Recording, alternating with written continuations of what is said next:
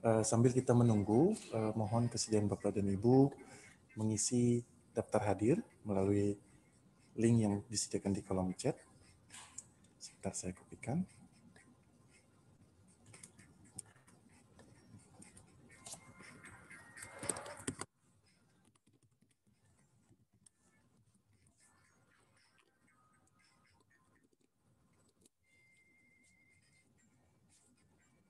Silakan untuk dapat diisi daftar hari yang terlebih dahulu. Kemudian uh, agar kita kompak, uh, kita akan share background untuk Zoom conference ini.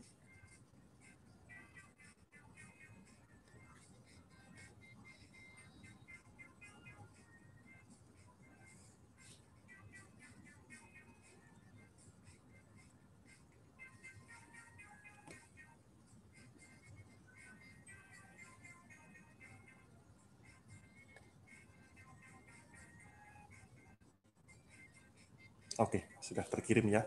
Silakan untuk diganti uh, background profile picture-nya sesuai yang kita share di kolom chat. Namun apabila jika gambarnya nanti tidak jelas, seperti saya ini mungkin faktor kamera laptopnya memang laptop lama, jadi malah mengkaburkan gambarnya, uh, apa-apa tanpa background tersebut.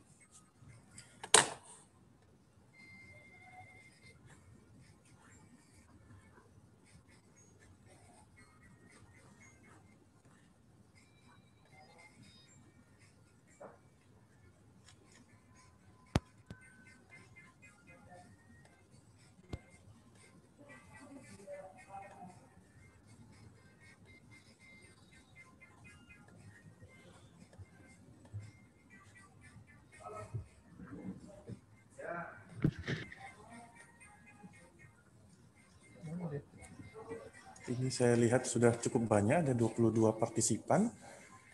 Kita nanti pukul 13 akan segera mulai, nanti acara akan dibuka oleh Pak Dirjen.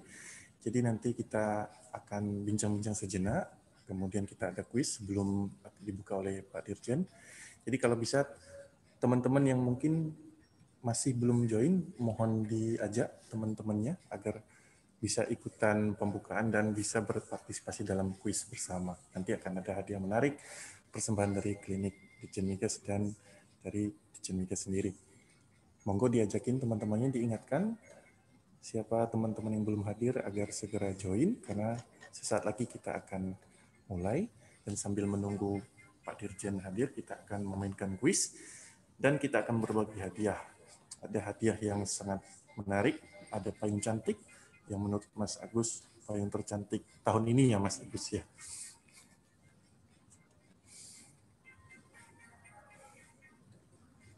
Bapak dan Ibu yang baru bergabung, eh, silakan mengisi daftar hadir dan menyesuaikan profile picture-nya biar kita seragam. Tapi saya mohon maaf karena saya sudah sempat coba tadi, gambarnya malah tidak bagus, jadi saya mohon izin tidak memakai eh, background yang sudah kita sediakan.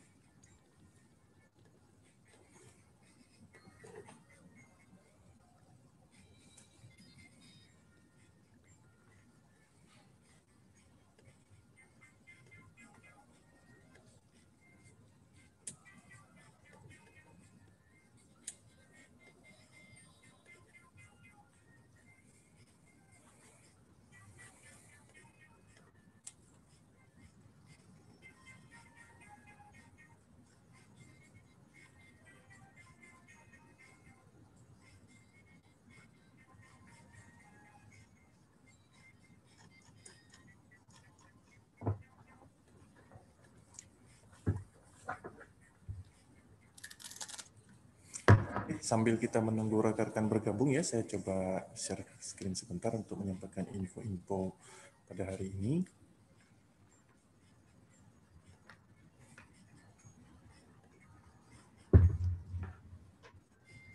Ya, jadi inilah rundown kita nanti.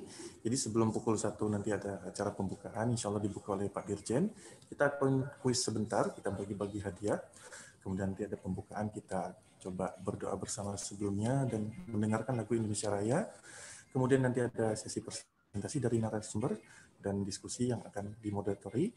Dan sebelum penutupan kita akan lanjut ke kuis yang kedua untuk kita bagi-bagi hadiah kembali. Jadi tetap ikuti acara ini dari awal sampai akhir. Tetap semangat, pemanasan dulu jari-jarinya agar tidak kaku sehingga ikut kuisnya lancar dan bisa menjawab dengan cepat dan benar.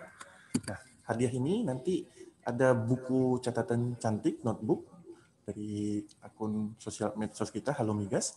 Kemudian ada pasta gigi dan obat kumur. Paling cantik masker dan tumbler yang sangat eksklusif.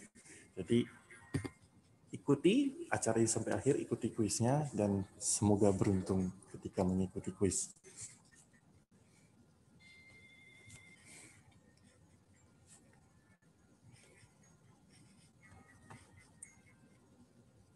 Di sini kami melihat Pak Ses sudah hadir bersama kita. Selamat siang Pak Ses. Selamat datang Pak.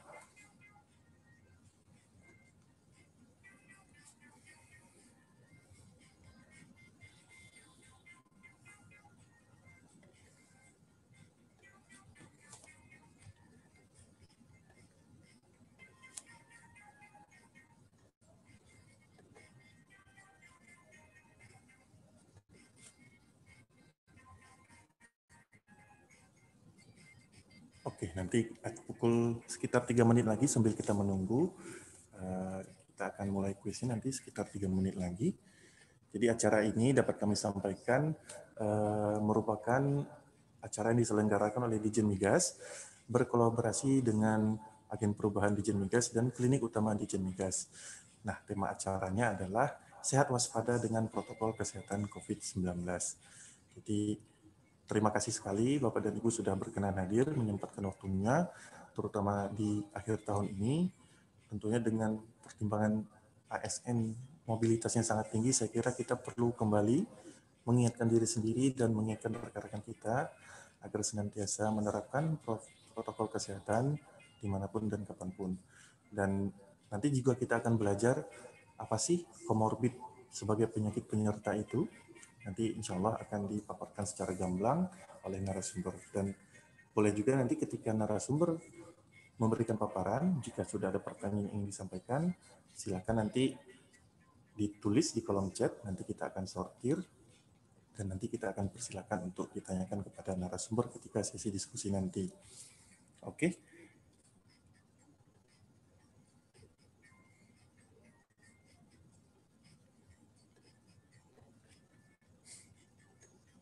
Oke, sambil kita ngobrol-ngobrol sambil menunggu. Jadi menurut saya nih ya, ini kan tanggal 22 Desember 2020. 22 Desember 20. Hari ini adalah hari yang sangat spesial dengan tiga alasan. Yang pertama, ada yang ulang tahun di hari ini.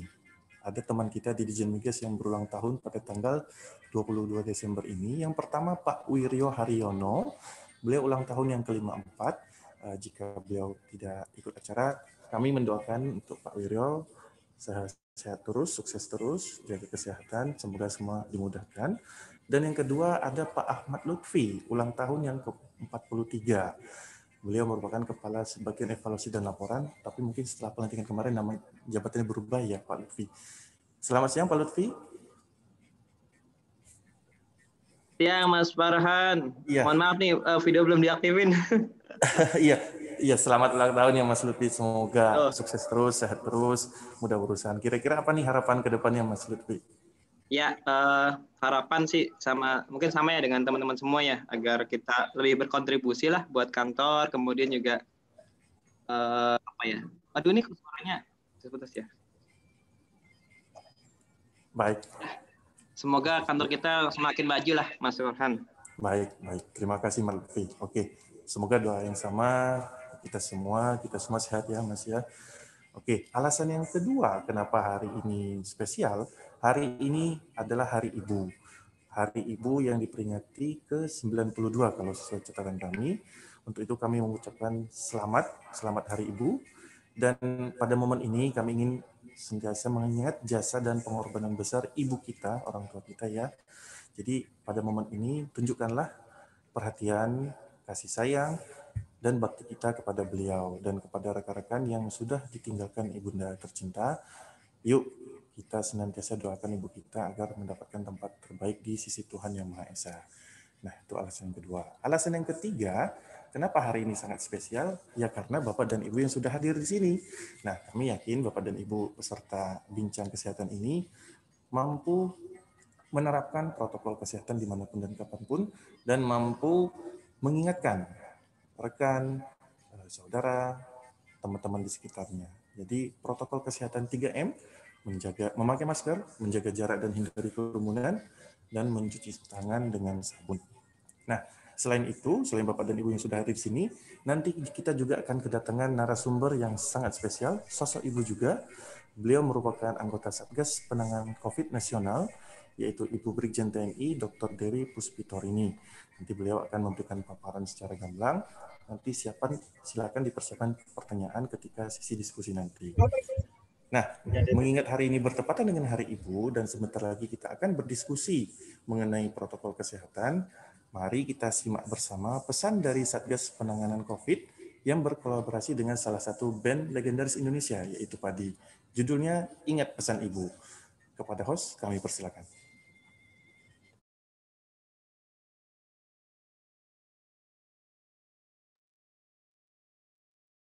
Semua harus kompak, harus tetap semangat untuk memutus mata rantai COVID-19. Hindarilah kerumunan dan selalu menjaga jarak. Kita harus membiasakan gaya hidup yang baru, disiplin, dan komitmen. Agar kita bisa beraktivitas kembali dengan normal.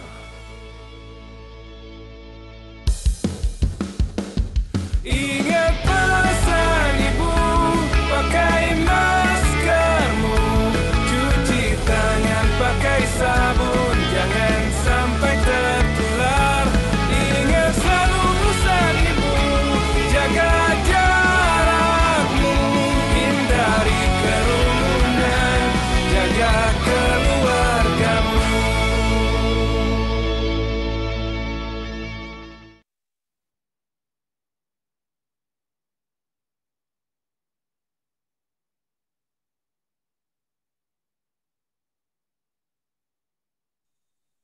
Farhan masih di mute. Kakak Farhan, terdengar suaranya?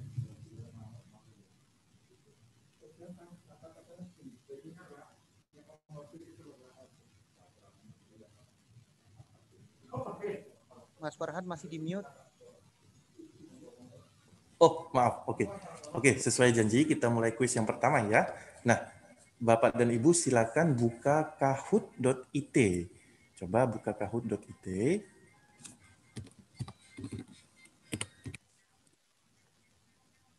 Saya share screen dulu ya.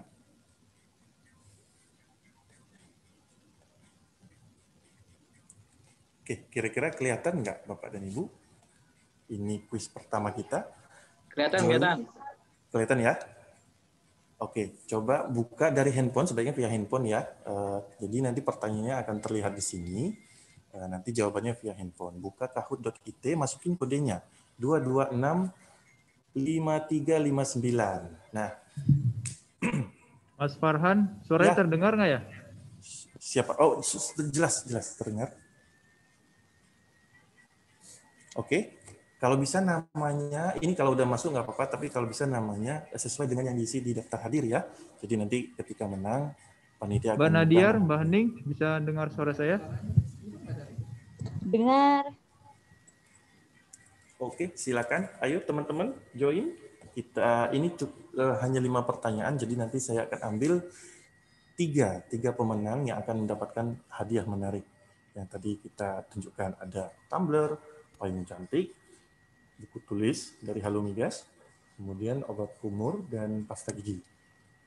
Oke, ini baru tujuh pesertanya. Siapa lagi yang belum join? Silakan membuka www.kahoot.it dan masukkan kode 226 5359.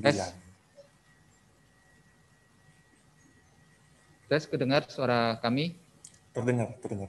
Jelas. Mas Farhan? Ya,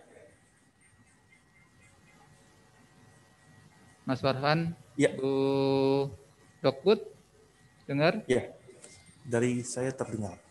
Belum ada suaranya, Mas. Oke, Tes, siap. Kedengaran, Pak Dian? belum dengar? Terdengar. Suara Mas Farhan juga belum kami dengar nih. Eh, bagaimana eh, suara saya, Pak? Ini pasti harusnya Tes, tes. Oke, ini sudah 12 orang. Ayo, Bapak dan Ibu, siapa yang belum join? Ini kita coba angkat. Ini partisipan ada 51 tapi baru 13 orang. Jangan ketinggalan, ini kita berkompetisi mendapatkan hadiah menarik dari Klink Dijen Migas dan Dijen Migas. Baru Farhan, 15. dengar suara saya kan? Pak Dian, suaranya sudah terdengar dengan baik.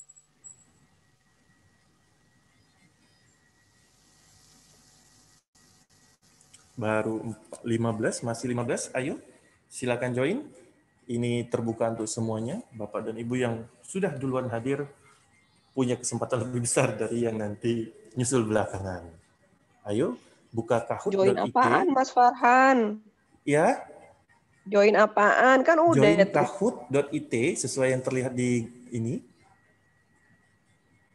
Di share screen saya. Tunggu pertanyaannya, Bu. Oke. Baru 18, ini dari partisipan 52. Ayo, ayo. Saya tunggu 3 menit lagi, semoga dalam 10 menit kita kelar quiz. Selamat siang. Selamat siang, Mas. Mbak Aning. Ya. Oh, dengar ya? Ya, suara saya Jelas, bagaimana kan? di sana, Mas? Dengar, Mas Wah, Dian. suaranya. Oke, Mas. baik. Ya. Suara Pak Dirjen nanti di sini terdengar? Kedengeran, Mas Dian. Eh, Pak Ya, Dirjen belum dengar. Tapi Mas Dian dengar. Oh ya, siap. Nah. Suara Buning, ekonya Buning.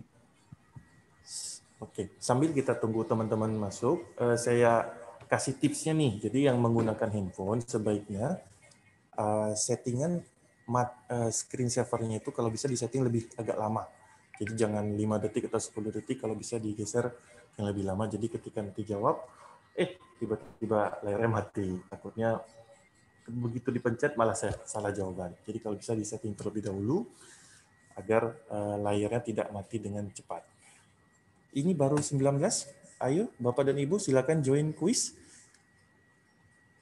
Oke, sudah 20. 21, buka kahut.it, masukkan kode 2265359. Oke. Satu menit lagi kita tunggu.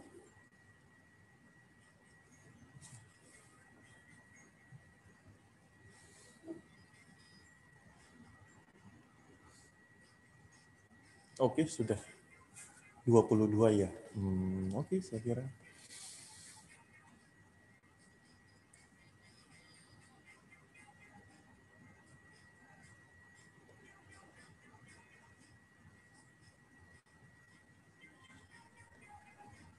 Oke, kita mulai saja kuisnya ya. Siap-siap Bapak dan Ibu, perhatikan handphonenya, perhatikan pertanyaan. Ini tidak sulit, pertanyaan gampang-gampang semuanya. Oke, siap, dua, tiga, kita mulai kuisnya ya. Baik. Kuis pertama di sesi pertama sebelum pembukaan. Siap-siap. Pertanyaan pertama. COVID-19 disebabkan oleh bakteri, jamur, virus, atau cacing. Ada 20 detik. Jadi jawaban yang tertinggi adalah jawaban yang benar dan yang paling cepat. 5 detik lagi. Oke, waktunya habis. Oke. Ada 16 yang menjawab dengan tepat, namun dua masih belum. Oke, jawaban yang benar adalah penyebabnya virus. Kita lihat klasmen sementara. Bapak Aprian Zahlan menempati posisi pertama, Ibu Hening posisi kedua, dan Pak Martin posisi ketiga. Yang lain tetap semangat. Ini masih ada empat pertanyaan lagi. Bisa saja klasmen berubah. Siap-siap ya pertanyaan berikutnya, yang kedua. Apa kepanjangan dari 3M kecuali memakai masker, menjaga jarak, mencuci tangan, atau memasak nasi? Oke, mana yang bukan kepanjangan dari 3M? 5 detik lagi, sudah 21 orang yang menjawab. Waktunya habis. A, 20 menjawab dengan benar, kecuali ya, jadi memakai masker, menjaga jarak, dan mencuci tangan adalah kepanjangan dari 3M. Memasak nasi, bukan. Kita lihat klasmen sementara. Bapak Martin menyalip menjadi peringkat satu, Mbak Hening tetap di posisi dua, yang lain tetap semangat, masih ada tiga pertanyaan lagi, masih bisa salip-salipan, ini skornya mepet semua. Kita lanjut pertanyaan ketiga, siap-siap, handphonenya standby, pertanyaan ketiga. Berikut ini merupakan gejala penderita COVID, kecuali apakah demam, sesak nafas, sakit gigi, atau batuk. Ayo dipikir-pikir. Ini pertanyaan gampang-gampang susah, tapi tidak susah-susah juga. 5 detik lagi, sudah ada 21 jawaban. Oke, waktunya habis. Sebagian besar menjawab dengan tepat yang tidak termasuk gejala COVID adalah sakit gigi. Kita lihat klasmen sementara. Pak Martin masih memimpin, tapi sedikit cukup tipis ini. Kemudian Pak Aprian menyalip kembali Mbak Hening menjadi posisi dua. Dan kita masuk ke pertanyaan berikutnya. Pertanyaan 4 dari 5. Jadi apa jabatan dari narasumber kita? Nah, Bapak dan Ibu yang membaca poster tentunya tahu apa jabatan beliau. Ayo dipilih. Kalau sering ikut ujian PPKN atau PMP, ada clue-nya. Jawaban yang manalah yang biasanya paling tepat. Oke, waktunya sebentar lagi habis. Oke, jawaban yang benar adalah jabatan beliau Direktur Profesi Tenaga Kesehatan RSPAD Gatot Subroto Jakarta. Baik, kita lihat klasmen sementara. Ini last one, posisi terakhir Bapak James menyalip ke peringkat satu, Pak Martin peringkat dua, Mbak Hening peringkat tiga. Ingat, satu pertanyaan lagi, kita mulai. Nah, acara ini terselenggara antara kolaborasi antara siapa dan siapa. Apakah klinik rawat jalan dan agen tetap, klinik kecantikan dan agen tunggal, klinik bersalin dan agen penyalur BBM, atau klinik izin migas dan agen perubahan. Ayo, ini harusnya gampang sekali dijawab. Oke, terima kasih. Hampir semua yang menjawab dengan tepat. Kita lihat klasmen akhirnya ya, siapa yang beruntung yang akan mendapatkan hadiah menarik dari Dijen Migas. Peringkat ketiga, DMB. Nah, ini nanti tolong dikonfirmasi ke panitia ya, nama aslinya siapa. Yang kedua, selamat kepada Bapak Martin. Dan yang peringkat pertama, kita berikan selamat kepada Bapak James. Oke, selamat Bapak James. Bisa ngobrol sebentar Bapak James? Puji Mas Farhan. Oke, selamat ya Bapak James. Nanti hubungi panitia ya, karena saya mungkin namanya berbeda. James Mas Puji, Mas kalau. Martin saya tahu untuk menghubungi panitia agar dapat kita kirimkan. Ini James James Bond apa siapa sih? Puji Bu, Puji. Puji James. Oh, Mas Puji ya. Oke.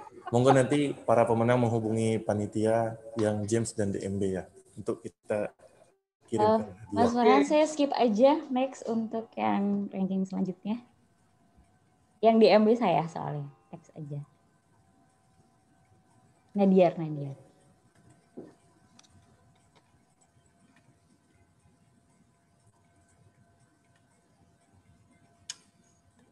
Oke, jadi itulah kuis pertama kita. Jadi sambil kita menunggu, eh, panitia apakah Pak Dirjen sudah bersama kita? Sudah ready?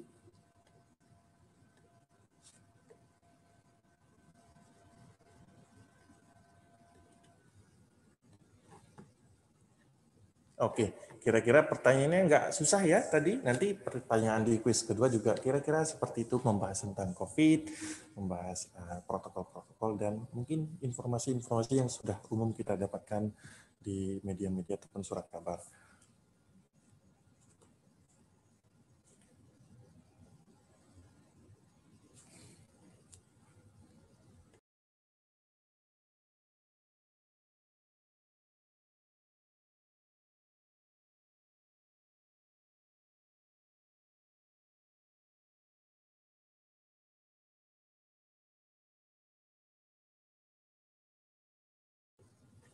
Baik, Em, Pak Dirjen, apabila sudah bersama kita, saya izin memulai, Pak Dirjen.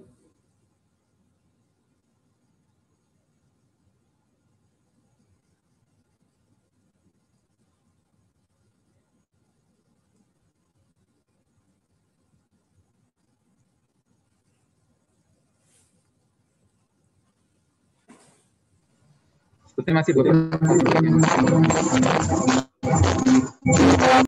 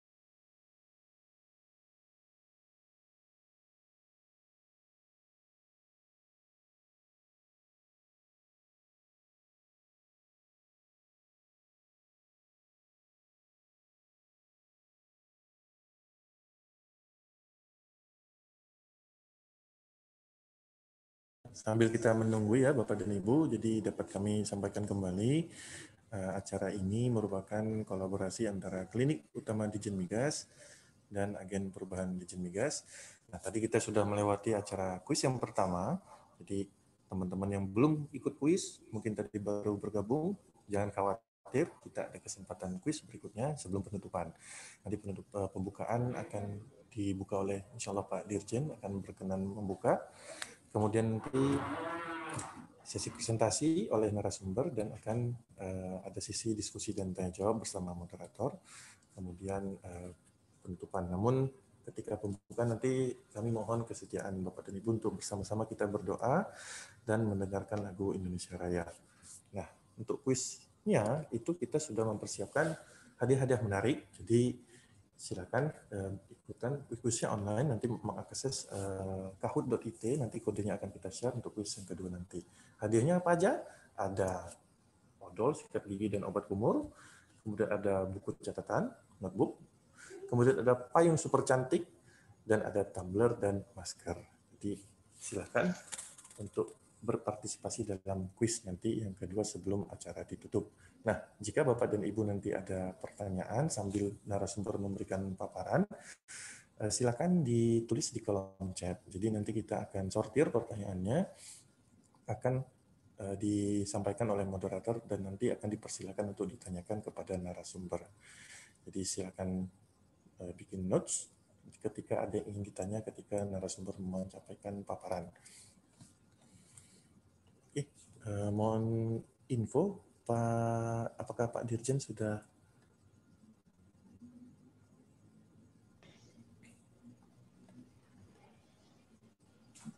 Mas Farhan 5 menit lagi, Mas. Baik. Baik, baik. Oke, sambil kita menunggu ya Bapak dan Ibu. Jadi ini saya melihat alhamdulillah cukup banyak partisipan ini, ada 81. Jadi eh, ini cukup kami apresiasi, kami sangat senang karena memang di Migas ini baru saja kehilangan salah satu pegawai terbaiknya, rekan baik, kompeten banget eh, karena eh, positif COVID-19. Jadi memang kita perlu kembali menekankan agar kita semua waspada, kita semua menerapkan protokol kesehatan.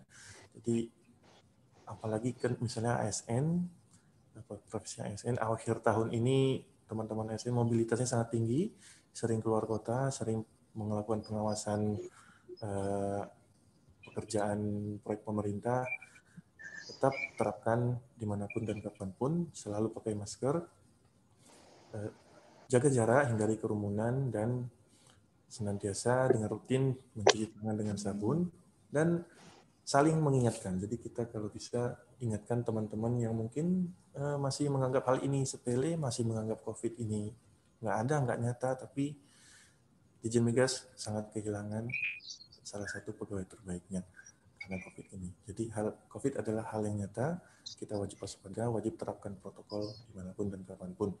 Kemudian nanti kita juga coba belajar apa sih eh, penyakit penyerta itu, komorbid itu yang sering disebutkan, apa-apa saja yang dimaksud dengan komorbid, dan bagaimana nanti misalnya langkah kita untuk menekan eh, penyebaran COVID-19 ini. Baik, mohon izin Pak Dirjen untuk memulai, Pak Dirjen. Baik, terima kasih. Silakan, Pak. Baik.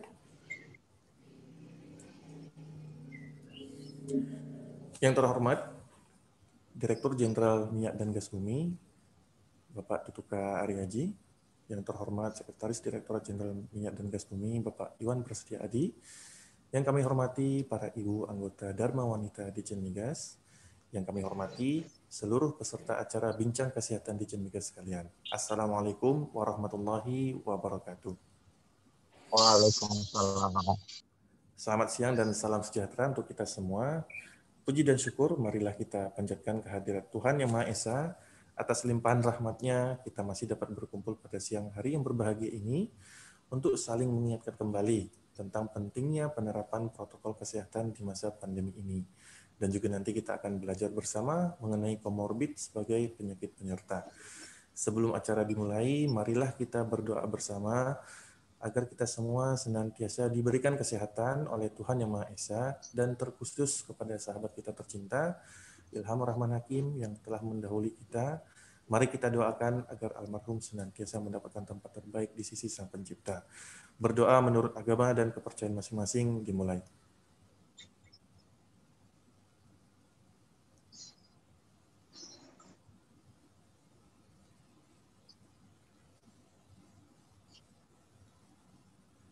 Berdoa selesai. Terima kasih.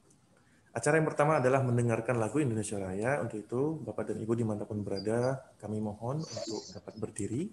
Kepada host kami persilakan untuk diputarkan videonya.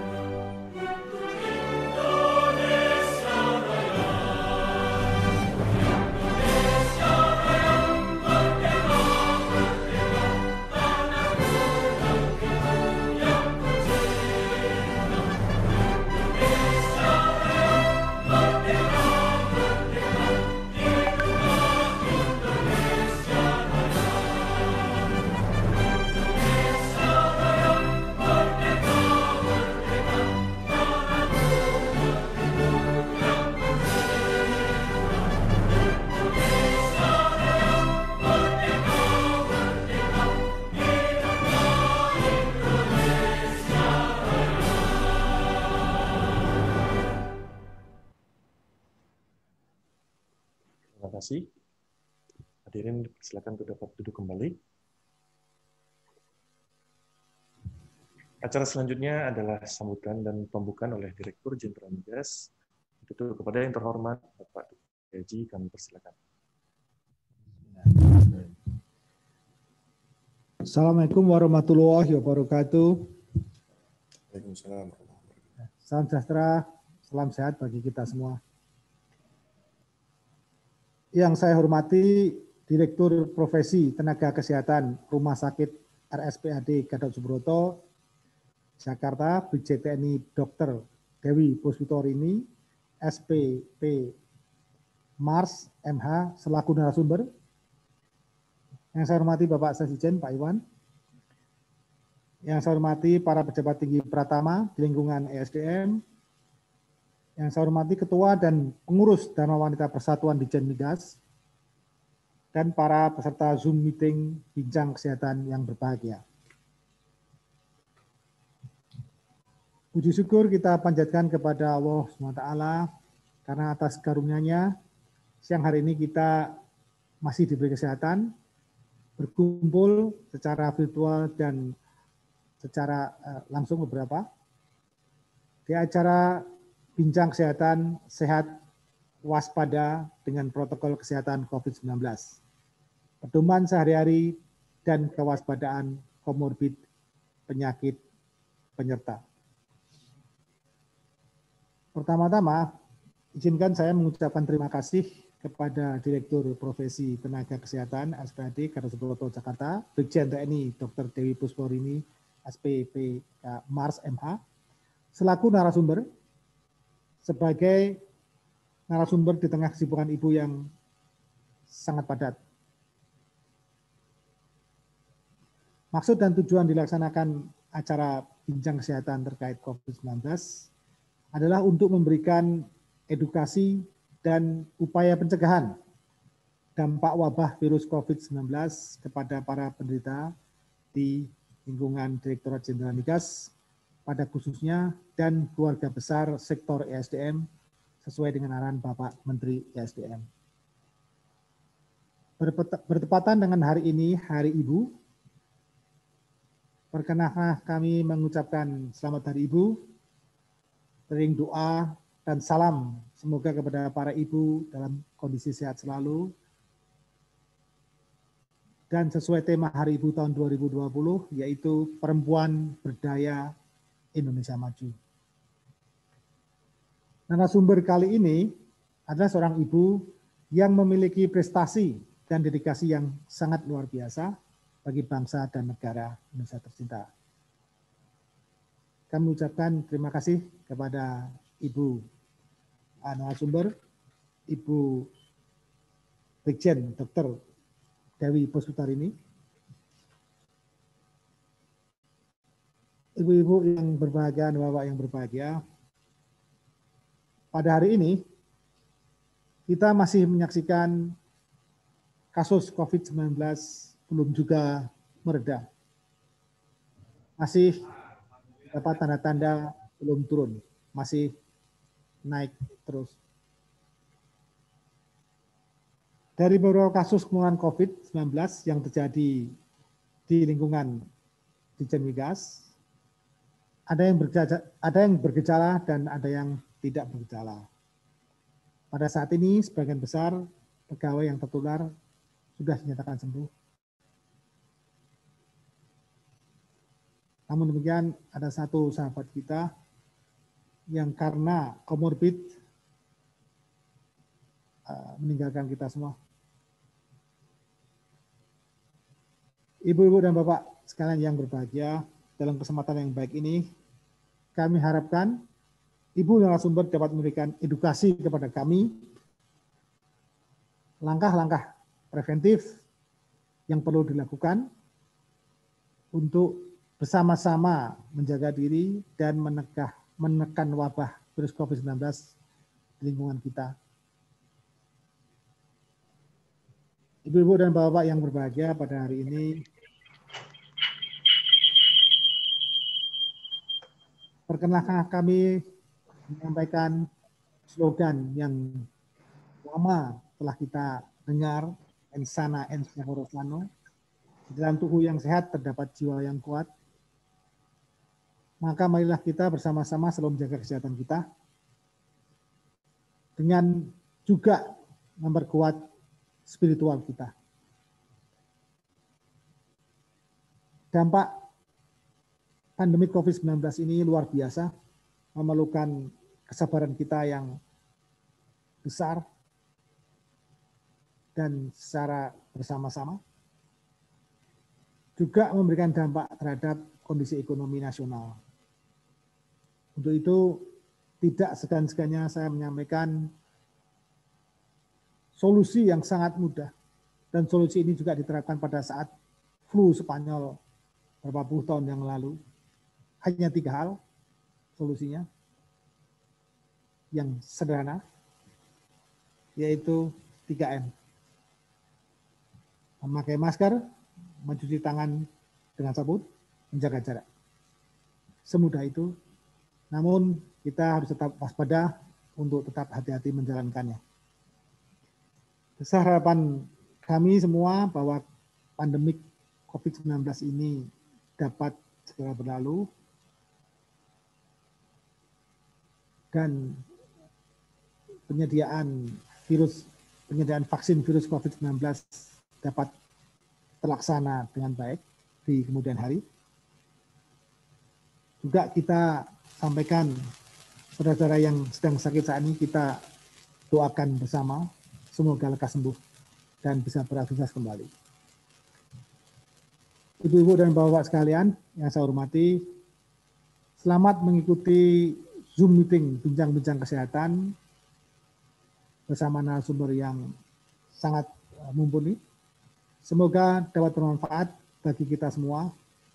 Semoga Tuhan Yang Maha Kuasa senantiasa melindungi kita semua, melindungi kita semua dalam berkegiatan, dalam bekerja, sehingga amanah yang diceritakan oleh kita semua dapat tercapai. Sekian dan terima kasih. Wassalamualaikum warahmatullahi wabarakatuh. Assalamualaikum warahmatullahi wabarakatuh. Terima kasih. Waalaikumsalam. Ucapkan kepada yang terhormat Bapak Duka Aryaji atas sambutan dan pembukaan yang telah disampaikan. Eh, sebelumnya kami ingin menyapa dulu ke Ibu Dirjen sudah hadir, Ibu Pak Ses juga sudah hadir. Kami ingin mengucapkan selamat Hari Ibu ya, Ibu-ibu. Baik, eh, kita lanjut ke acara utama kita pada hari ini adalah presentasi dan diskusi. Jadi eh, presentasi akan dibawakan oleh narasumber Dr. Dewi dan diskusi bersama akan dimoderatori oleh salah satu dokter umum di klinik utama di Migas, yaitu Dr. Putri. Untuk itu kepada Dr. Putri kami persilakan.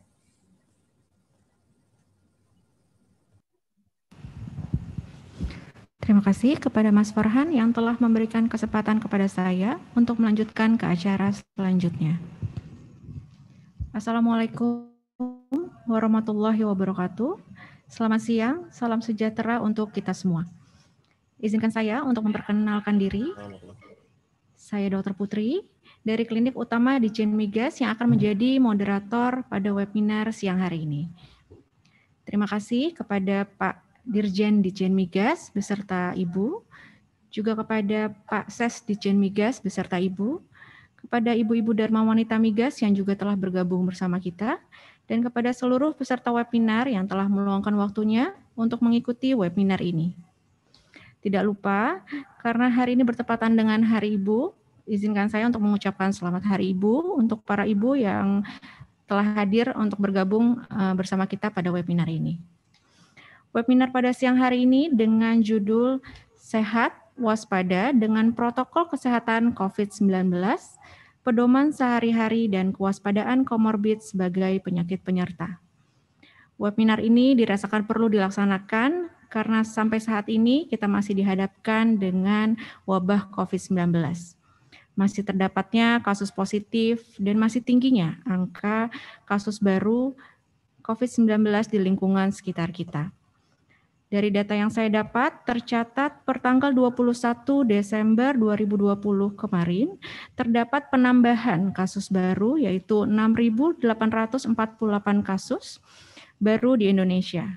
Dan terdapat penambahan kasus baru 1.466 kasus positif di DKI Jakarta. Masih tingginya kasus baru tentu ini membuat kita bertanya-tanya, kenapa masih terus bertambahnya kasus baru padahal sepertinya kita telah melaksanakan protokol, protokol kesehatan dengan baik. Dan sebetulnya bagaimana protokol kesehatan yang paling tepat yang kita Bisa ya? lakukan ya? agar kita dapat terhindar dari COVID-19 ini. Untuk itu telah hadir bersama kita narasumber kita yaitu Brigjen TNI Dr. Dewi Puspitorini, spesialis paru konsultan Mars MH. Selamat siang Dr. Dewi. Apakah sudah bergabung bersama kita, Dok? Ya. Selamat siang, Dr. Putri. Selamat siang, Dr. Dewi. Terima kasih, Dok, telah meluangkan waktunya. Baik, terima kasih. Suara jel suaranya jelas ya, Dok? Terdengar di sana? Masih ada anggota saya, saya belum boleh lepas masker nih kalau gitu. Mas, bentar. Baik, Dok. Ya, udah penuh, udah penuh. Kalau udah biasa megang masker, saya biasakan pasti megang semprotan. Baik, Dok. Sehat, Dokter Eh, Dewi? Alhamdulillah ini sudah dimulai, ada udah diserahkan ke saya dok atau bagaimana? Ya, sudah mulai, Dok. Nanti izinkan saya untuk membacakan kurikulum vita dulu ya, Dok. Sebentar, Dok. Ya, saya Baik. menyiapkan materinya ya dok. Baik, izinkan saya melanjutkan dulu ya, Dok. Ya, ya. Eh, izinkan saya untuk membacakan kurikulum vitae dari Dr. Dewi Puspitorini sebagai narasumber kita. Dr. Dewi Puspitorini, spesialis paru, konsultan Mars MH, lahir di Jakarta 15 Mei 1967. Riwayat pendidikan, lulus pada tahun 1992 dari Fakultas Kedokteran Universitas Indonesia, lalu melanjutkan studi pulmonologi Fakultas Kedokteran Universitas Indonesia dan lulus pada tahun 2006. Saat ini, Dr. Dewi masih aktif sebagai Direktur Profesi Tenaga Kesehatan di Rumah Sakit RSPAD Gatot Subroto. Dan beliau juga merupakan Satgas COVID Nasional. Untuk itu, sangatlah tepat sekali beliau menjadi narasumber kita hari ini untuk memberikan paparannya tentang COVID-19. Dan suatu kehormatan bagi kami, Dr. Dewi dapat meluangkan waktunya. Terima kasih, Dr. Dewi. Dan tidak lupa, eh, sebelum dimulai acara, eh, akan saya sampaikan bahwa setelah paparan narasumber nanti akan ada sesi tanya jawab. Nanti dipersilakan kepada para peserta webinar yang ingin bertanya, boleh langsung menuliskan pertanyaannya di dalam kolom chat. Untuk mempersingkat waktu, eh, apakah sudah siap, Dokter Dewi? Eh, ya, bisa tolong saya dijadikan host di saya masuk dua tadi HP Oh. sekarang saya laptop boleh. Baik, Dok, sebentar.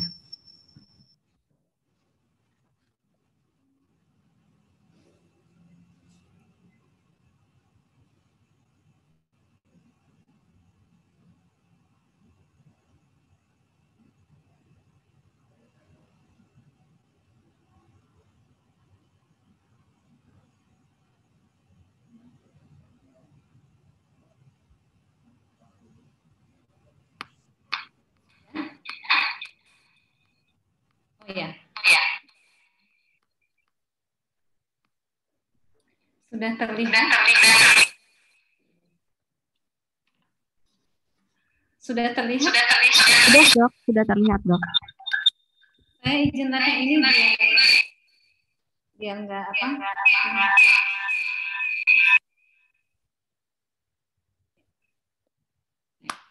Baik, terima kasih. Assalamualaikum warahmatullahi wabarakatuh. Waalaikumsalam. Waalaikumsalam. siang. Yang terhormat tadi ada Bapak Dirjen. Eh, tadi saya mendengarkannya sambil jalan. Terima kasih untuk kesempatan yang diberikan kepada saya karena saya memang harus terus mengedukasi eh, teman-teman semua eh, baik di BUMN atau di tempat lain yang kadang-kadang minta untuk saya di sela-sela juga saya kedinasan saya sebagai eh, saya di RSPAD Gatot Subroto. Baik, saya mendapatkan eh, kesempatan saya ambil judul sehat dengan eh, ini saya besarkan ya. Ya, sehat dengan eh, 3M dan tetap waspada terhadap COVID-19. Ya, kita tahu saat ini em, nama penyakitnya adalah COVID-19. Virus penyebabnya adalah SARS-CoV-2 ya yang sudah mengenai hampir seluruh sebagian besar dari belahan dunia itu sudah didatangi eh, dan menyebabkan suatu kondisi eh, mengganggu perekonomian eh, di masing-masing negara. Ya, ya. WHO tanggal 11 Maret 2020 menyatakan bahwa kondisi ini sudah kondisi pandemi. Pandemi itu artinya kasusnya sudah menyelimuti atau mengenai hampir sebagian besar dari belahan dunia. Ya, kita tahu inilah bentuk virusnya, dia bentuknya ada tonjol bulat ya dengan tonjolan-tonjolan. Gunanya tonjolan-tonjolan ini adalah untuk menempel pada reseptor-reseptor di dalam uh, saluran nafas kita. Ya, uh, pinter ini memang virus ya. Ya, dia masuk lewat hidung, bisa masuk mulut dan lewat uh, ke mata. Uh, dan reseptornya ada di setelah di dalam, dia bisa mengalami gangguan di saluran cerna juga ada, di ginjal, di otak pun ada setelah masuk dalam peredaran darah. Jadi yang harus diantisipasi memang daerah area muka. Oleh karena itu, gunanya protokol kesehatan diterapkan bahwa kita harus pakai masker yang benar dari atas hidung sampai dagu dan kita tidak boleh kecup-kecup mata kalau tangan kita belum cuci tangan. Inilah organ salah satu ya organ vital. Kenapa saya bilang salah satu? Karena organ vital lain ada ya otak termasuk, jantung masuk, hati dan ginjal termasuk karena memang uh, Allah menciptakan bahwa uh, apa organ-organ ini saling berhubungan. Ada apa-apa di paru, masalah di paru, jantung jadi uh, ada masalah. Karena apa? Oksigennya kurang, kemudian otak memerintahkan ya paru nafasnya lebih cepat, jantung kerjanya lebih cepat. Nah di situlah jadi ada kolaborasi organ-organ vital ini di dalam tubuh manusia. Sehingga begitu salah satu organ vital ini kena, itu bisa mempengaruhi keseluruhan. Contoh, misalnya orang kalau kena stroke aja, contoh bayangin, Nah, padahal otak itu adalah tempat yang memerintahkan, tempat mesinnya. Kalau mobil itu mesin, merintahkan. Kalau otaknya nggak merintah apa-apa, dia nggak bisa ngapa-ngapain, begitu ya. Jadi semua organ harus dilindungi, diamankan. Ini gambar di atas adalah uh, bagaimana virus ini berada dalam satu uh, ruangan yang tertutup, baik di rumah, baik di perkantoran. Ini jendelanya tertutup. Tapi kalau kita ventilasinya baik, ya uh, ini uh, jumlah virusnya itu uh, tidak terlalu banyak. Ya gejala COVID-19 apa sih? Yang paling sering ditemukan adalah ada gejala demam, Kemudian ada batuk kering, gangguan pernafasan itu seperti rasa sesak atau bahkan sesak nafas datangnya ke, ke gawat darurat sering seperti itu. Eh, kemudian juga ada gangguan penciuman, gangguan pengecapan. Sekarang kita bilang uh, penciuman itu anosmia ya. Ada yang diare dan ada rasa, hanya rasa lemas aja. Jadi kita mesti waspada. Saat ini kita dalam kondisi pandemi, bila ada keluhan-keluhan di atas mesti diwaspadai. Tetapi juga jangan terlalu cemas ya. Oke, Eh, lewatnya lewat mana nih transmisinya? Ya, bisa cara langsung atau tidak langsung. Langsung itu adalah lewat percikan. Droplet itu adalah kalau kita ludah, mohon maaf, itu ludah kan besar ya, ludah cairan. Tapi ini hanya percikan. Jadi kita bicara begini, sebenarnya ada percikan. Ada percikan kecil-kecil yang bisa kena ke kita. Dengan jarak 1-2 meter bisa. Ya tergantung nanti memang droplet sendiri ada yang kecil banget, ada yang masih terlihat. Coba pernah deh saya yakin uh, peserta webinar pernah merasakan tiba-tiba oh, ada muncul sedikit gitu ya saya sekali pernah juga uh, melihat seperti itu. Nah jadi droplet itu mengenai orang di depannya kalau orang di depannya tidak pakai masker tidak aman ya apalagi kalau kita ternyata kita jadi OTG orang nggak yang tanpa gejala. Kalau tra kemudian transmisi yang tidak langsung droplet ini jatuh ke meja ya uh, orang lain akan megang uh, megang meja kita ya teman kantor teman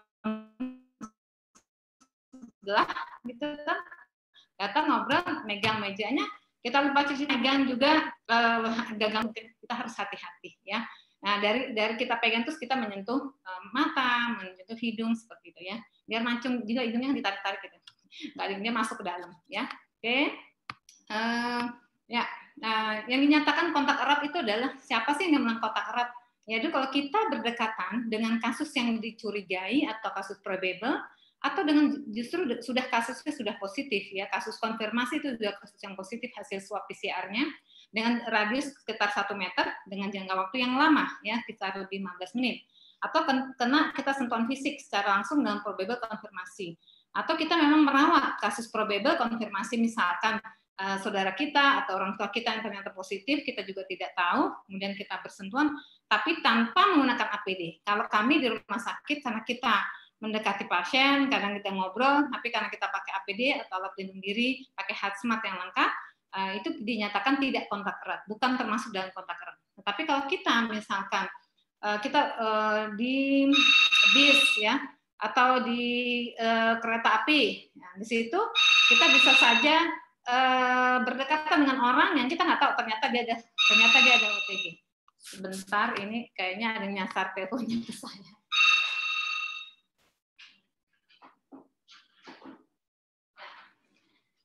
Lanjut, em, lanjut ya. Ini adalah ya, yang tadi gambar pertama ya ada virus-virus yang akan masuk ke eh, pernafasan kita. Ya, dari hidung masuk ke dalam saluran nafas, ujungnya adalah ini kita bilang al- eh, ini ada tulisan alveolus ya. Ini adalah bola-bola saluran nafas kita. Bola-bola saluran nafas kita jadi dari hidung masuk terus ke dalam paru kita, ujungnya adalah ini. Bola-bola saluran nafas kita. Bola-bola saluran nafas kita atau alveolus ini kalau dijembreng atau ditebarkan, itu luasnya adalah seluas lapang tenis. Itu berdasarkan referensi yang kita dapatkan, yang kita punyai sejak saya masih pendidikan, bagaimana Allah menciptakan ternyata bola-bola itu seluas lapangan tenis, luas sekali ya. Nah, dari bola-bola ini, di sekitarnya itu adalah pembuluh darah yang merah ini. Ini adalah sel darah merah. Jadi sel darah merah ini mengangkat, membawa CO2 yang hasil metabolisme dari sel-sel, kemudian dilepaskan ke bola-bola saluran nafas kita. Dan eh, di dalam alveolus ini kan ada udara yang tadi masuk uh, mengandung oksigen. Nah, oksigen ini gantian kemudian diikat oleh sel darah merah ini, kemudian dibawa ke seluruh tubuh untuk dipakai sebagai metabolisme selnya. Ya, memang uh, oksigen itu menjadi salah satu faktor penting untuk metabolisme. Sehingga kalau misalkan oksigennya kurang, ya jadi di sinilah proses. Ada apa-apa di dalam proses alveolus atau proses di atas, ya, proses di atas pada orang asma, pada orang yang dengan sumbatan jalan nafas bagian atas, pasti oksigen yang akan masuk ke sini eh, akan sedikit. Nah, pada proses eh, COVID ya, justru kelainannya daerah-daerah seperti ini di, di, di, di ujung-ujung seperti ini ya. Baik, kita lihat dulu berikutnya. Nah, em, gambar yang ini adalah bola-bola saluran nafas kita dalam eh, kondisi normal. Bola namanya bola atau balon ini adalah kosong ya, karena tempat pertukaran eh, oksigen masuk dan CO2 keluar. Tetapi pada eh, kasus kondisi pneumonia atau kondisi infeksi paru dalam hal ini kita bicarakan COVID, di dalam bola-bola saluran nafas ini terbentuk eh, peradangan, terjadi peradangan sehingga eh, ada cairan di dalam bola-bola tersebut. Coba kita bayangkan, bola-bola yang seharusnya kosong seperti sebelah kiri tiba-tiba diisi oleh cairan eh, peradangan. Sehingga kan pertukaran oksigen nah, harusnya bisa masuk ke dalam pembuluh darah, ya, pembuluh darah di sekitar sini, pembuluh darah tidak bisa lewat secara sempurna karena kan isinya tidak penuh full. Nah, di- dia bisa lewat di sini tapi di daerah sini enggak. Tapi kan justru juga dan ini eh, mempengaruhi dalam proses eh, apa pertukaran dari oksigen. Ya, ini secara detail lagi. Nah, ini adalah alveolus atau bola-bola saluran nafas kita yang normal. Jadi dia kosong. Ini adalah sel darah merah, eh, pembuluh darah dengan sel darah merah akan terjadi pertukaran di sini. Nah, di sini kita lihat pada proses peradangan yang terjadi ya nah ini kan eh, cairan peradangan banyak di sini bagaimana oksigen bisa masuk ke dalam sini ya belum lagi sini akhirnya mengalami proses eh, fibrosis ya ada jaringan apa namanya prokalogen jadi menebal ya. Proses perpindahannya jadi terganggu. Jadi bisa kita bayangkan bahwa eh, walaupun eh, bola-bola saluran nafas kita seluas lapang tenis tetapi begitu yang kena kan bukan hanya satu alveolus alveolu alveoli tidak tetapi kan banyak ya. Jadi eh, begitu kalau luas kelainannya sangat mempengaruhi dalam eh, oksigenisasi atau masuknya oksigen ke dalam tubuh yang berimbas kepada sel eh, metabolisme kita juga terganggu, kita juga pasti akan sesak. Karena apa? Begitu oksigen yang kurang dalam tubuh, langsung sinyal otak, ayo nafas lebih cepat, ayo jantung lebih cepat. Jadi nadinya cepat, nafas kita jadi cepat, kita mengimeng akan terlihat. Mengimeng itu nafasnya eh, frekuensi nafas lebih dari 30 ya.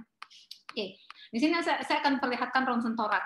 Apa sih ronsen torak ini? Ronsen dada inilah pa- pasti tem- eh, Bapak Ibu sekalian pernah melihat atau pernah kita dilakukan ronsen seperti ini ya. Kita menghadap ke sana ke tembok kemudian difoto dari belakang. Nah, inilah hasilnya. Nah, ronsen torak ini ini adalah eh, kursor saya menunjukkan ini adalah bayangan jantung. Ini adalah paru sebelah kanan eh, dan yang segini adalah paru sebelah kiri. Eh, Yang putih bawah ini adalah orga- eh, daerah perut. Ya, kita bicarakan adalah paru saja. Eh, ini udara oh, paru kita isinya adalah eh, udara em, kayak akan oksigen dan lain-lain. Jadi jaringannya jaringannya nggak begitu kelihatan ya karena memang isinya banyak udara. Sudutnya tumpu eh, lancip di sini lancip. Kalau ada air dia akan putih kelihatan. Ini adalah normal. Kita lihat sekarang ronsen dada yang sebelah kanan ya. Ronsen dada pasien covid. Nah, pasien covid yang masih ini kasus sedang ya. Kalau kalau kasusnya ringan putih-putihnya nggak sebanyak ini juga. Ya kita lihat ini normal dia hitam, tetapi pada yang kasus sedang sudah mulai banyak tuh di tepi-tepi. Memang seplora, uh, tepi sama di basal di bawah bagian bawah. Ya kita lihat di sini sudah putih-putih banyak dan di tepi kanan dan kiri. Ya ini kasus sedang. Nah kasus yang berat kita lihat bagaimana putih-putihnya sudah hampir menyelimuti seluruh jaringan parunya kita bisa bayangkan bagaimana kita akan menjadi sesak nafas karena apa oksigenisasi terlihat di sini adalah sudah sangat kurang. Kita bandingkan ya dengan yang normal kiri atas, ini adalah yang kasus beratnya. Um, ya kalau kasus berat seperti ini, uh, ini saja kita sudah waspada untuk masuk uh, ke bisa di ruang perawatan biasa dulu, tetapi observasi ketat. Bila terus sudah evaluasi tiga hari atau lihat klinis pasien memberat, pasti akan masuk ke ICU, ruangan ICU intensive care unit uh, ada kemungkinan akan memakai alat bantu nafas atau yang disebut kita bilang dengan ventilator ya. Uh, jelas tidak nyaman tetapi itu adalah upaya dari kita untuk um, membantu oksigenisasi pasien. Walaupun kita tahu kita tahu bahwa tadi bola-bolanya uh, isinya kan penuh. Nah itu tadi. Tapi kan pengobatan juga diberikan. Ada lendir disedot seperti itu ya. Eh, kemudian yang lebih detail lagi adalah pemeriksaan CT scan toraks. Kalau mungkin eh, beberapa eh, dari peserta Bapak Ibu mungkin pernah dilakukan CT scan, CT scan kepala, CT scan perut, abdomen, CT scan ini dada ya. Ini hasilnya ada seperti ini. Jadi lebih detail. Ini adalah CT scan toraks dalam kondisi normal. Ini adalah bayangan daerah jantung dan pembuluh darah besar. Ini adalah paru sebelah kanan, ini adalah paru sebelah kiri ya. Ini uh, ini pembuluh darah dan cabang-cabangnya dan cabang-cabang saluran nafas maksudnya. Kita lihat ini adalah bersih hitam. Nah kita lihat sekarang kasus sedang dan berat. Uh, kita lihat sini putih-putihnya. Jadi kita bisa bayangkan bagaimana ke pasien COVID ini uh, mengalami sesak hebat ya. Ini yang berat. Dari jauh kelihatannya sih hitam tapi kalau didekatin ini putihnya lebih tipis lagi dan sudah mengenai hampir di seluruh uh, lapang paru, kedua paru kanan dan kiri. Umumnya memang kena kanan dan kiri. Baik, uh, ini adalah kurva dari materi Dr. Tonang ya, menjelaskan tentang hari-hari uh, pemeriksaan. Kita nanti akan tahu bahwa ini rapid antigen, uh, antigen yang saat ini sedang ramai dibicarakan, rapid antibody yang dulu-dulu waktu awal kita membicarakan tapi kepada rapid antibody, kemudian ada swab PCR atau real time PCR yang merupakan gold standard atau merupakan ya kalau uh, pasti PCR positif itu uh, kalau PCR dilakukan positif itu udah pasti kan gitu ya oke okay. di hari pertama setelah kita terjadi paparan terjadi kita paparan terhadap atau masuknya virus uh, uh, SARS-CoV-2 uh, ke dalam tubuh kita ya. Uh, ini ada proses ya. Jadi kalau pada sampai satu minggu pertama sampai satu minggu pertama kalau diperiksa PCR-nya dia akan positif ya. PCR-nya akan positif. TCM ini tes cepat molekuler juga ya. Uh, diperiksa untuk RT antigen jawabannya pas uh, kemungkinan besar adalah reaktif di sini. Karena RT antigen juga ada yang false positif uh, false negatifnya. Jadi RT antigen akan uh, reaktif. Tetapi diperiksa uh, rapid test antibody non reaktif jadi kalau kita baru terpapar di sini, diperiksa di hari ketiga, hari keempat, diperiksa antibodinya, jelas negatif hasilnya atau non reaktif jadi aduh saya nggak nggak nggak apa ya, tidak terinfeksi nih. Nah, lihat dulu. Kita belum bisa menilai bahwa kalau reak, um, rapid antibodinya tidak reaktif non reaktif uh, belum tentu ya karena di sini kita ada tujuh hari. Nah setelah tujuh hari baru mulai nih anti antibodinya mulai terbentuk. Ya antibodi mulai terbentuk IgM ini kondisi akut tetapi virusnya masih ada. Ya di sini virusnya masih ada dan kondisi tetap masih akut sehingga pada uh, pada kisaran sekitar sampai 12 hari ya pas sampai 12 hari itu IgM positif uh, kita nyatakan memang dia reaktif dengan virus yang masih ada kalau dilakukan swab PCR di sini bisa positif bisa negatif ya di swabnya. Uh, rapid test antigen uh, umumnya adalah karena yang kuning ini antigennya dia sudah turun. Oke. Okay Tetapi setelah minggu ke minggu ketiga ya virusnya sudah hilang, yang ada antibodi yang kondisi akut IgM ini akan turun, kemudian re- aj- eh, imunoglobulin G yang akan bertahan lama. Hati-hati di sini ternyata menurut data ada terjadi reinfection, ada infeksi berulang. Tetapi karena kita sudah mempunyai antibody and immunoglobulin G, biasanya keluhannya tidak eh, seperti yang pertama eh, lebih ringan dan eh, seperti tidak banyak keluhan saja. Biasanya kau tahu ya, suka pasien tuh eh, kontrol di minggu ketiga ya mi- eh, minggu ke satu bulan ternyata lo kok positif lagi. Nah itu eh, jangan terlalu cemas kita lihat dulu lihat klinisnya bisa saja itu adalah suatu infeksi sekunder eh, apa infeksi berulang. Makanya kalau kita sudah pak sudah pernah terpapar eh, para penyintas COVID ini harus tetap waspada ya. Ini, ini tadi kita jelaskan eh, keluhan batuk yang paling banyak. Nah, saya justru mau menekankan di sini. Ini adalah komorbid yang kita temukan dari gugus tugas.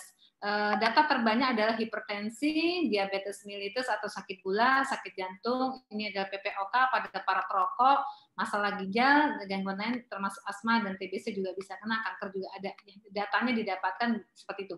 Jadi kalau kita ada hipertensi, ada sakit gula, ada sakit jantung, ada per- pada para perokok, dia asma, dia em, punya kanker, ya pada kehamilan, kita mesti hati-hati.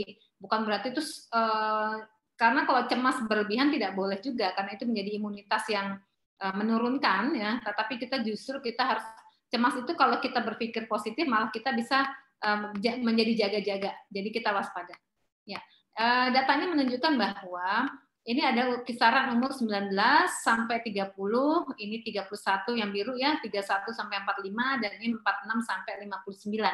Saya akan fokus pada tiga eh, diagram batang ini. Kita lihat yang positif memang banyak nih eh, usia 19 sampai ke 59 tahun. Memang karena memang ini ada usia-usia produktif di mana kita banyak aktivitas keluar pada usia-usia rentang usia sekian ya begitu yang dirawat juga banyak juga sama eh, pada eh, tiga kisaran us- usia tersebut ya 19 sampai ke 59 ya sama tetapi kita lihat yang meninggal justru lebih banyak pada usia eh, tua ya di atas 60 tahun justru, justru banyak meninggal itu tadi karena faktor usia em, sel-sel dalam tubuhnya dalam merespon eh, suatu penyakit eh, tidak sekuat bisa kalau tentara tuh tentara masih muda sama tentara yang sudah pensiunnya beda ya kekuatannya seperti itu. Jadi em, bukan terus menjadi oh saya masih muda nih aman, tetap harus dijaga ya. Oke. Eh, pemerintah menerapkan eh, 3T di sini yaitu tracing kita telusur. Jadi misalkan eh, ada si A dia positif da- dalam kadang kan kantor itu suka melaksanakan yuk kita lakukan em, screening Nah, begitu screening ada yang positif, maka dari yang positif itu akan ditanya. 14 hari terakhir ke belakang ketemu dengan siapa saja. Orang rumahnya ditanya, istrinya nanti gimana, apa maksudnya eh, juga akan dilaksanakan swab juga. Ya, akan dilakukan tes, testing eh, dalam arti eh, memang ideal seluruh penduduk Indonesia dilakukan tes, tapi kita eh, dengan keterbatasan eh, pastinya karena tes ini juga cukup mahal reagennya, jadi itu eh, kita laksanakan telusur atau tracing eh, yang positif kemudian kita cari di 14 minggu terakhir siapa-siapa teman kantor misalkan si A nih kantor A gitu.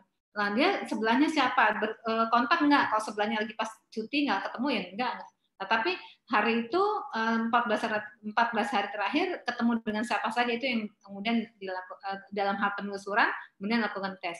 Begitu dites akan dilihat apakah em, kasusnya eh, seringan sedang atau berat. Kenapa berat di tracingnya itu tadi. Eh, kalau kasusnya ringan ya cukup isolasi mandiri. Atau apalagi kalau dia tanpa gejala OTG berarti tetap harus diserahkan dulu untuk kita memutuskan rantai Nah, terus kalau ada yang kasusnya sedang, misalkan "Hmm, saya ternyata ada batuk nih, ya kita harus waspada. Eh, sebaiknya itu ditambil, di- disampaikan, yuk kita lakukan ronsen toras, eh, ronsen dada agar kita bisa lihat ada nggak kelainan di eh, parunya, ya untuk bisa lebih awal kita tata laksana. Ya, dari kekhawatiran-kekhawatiran ini ada eh, kita khawatir sampai berapa lama kondisi ini dan khawatir juga keselamatan diri sendiri sama keluarga.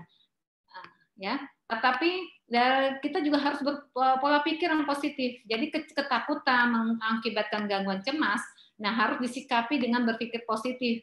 eh, yang akan eh, menjadi kita jadi lebih sehat. Karena apa? Kita eh, akan menerapkan gaya hidup sehat. Oh iya, ini lagi pandemi nih. Kita kan juga cemas. Saya kami di rumah sakit juga jangan sampai kita kena. Kalau kita kena, bagaimana pelayanan? Kasihan pasien-pasien kita seperti itu.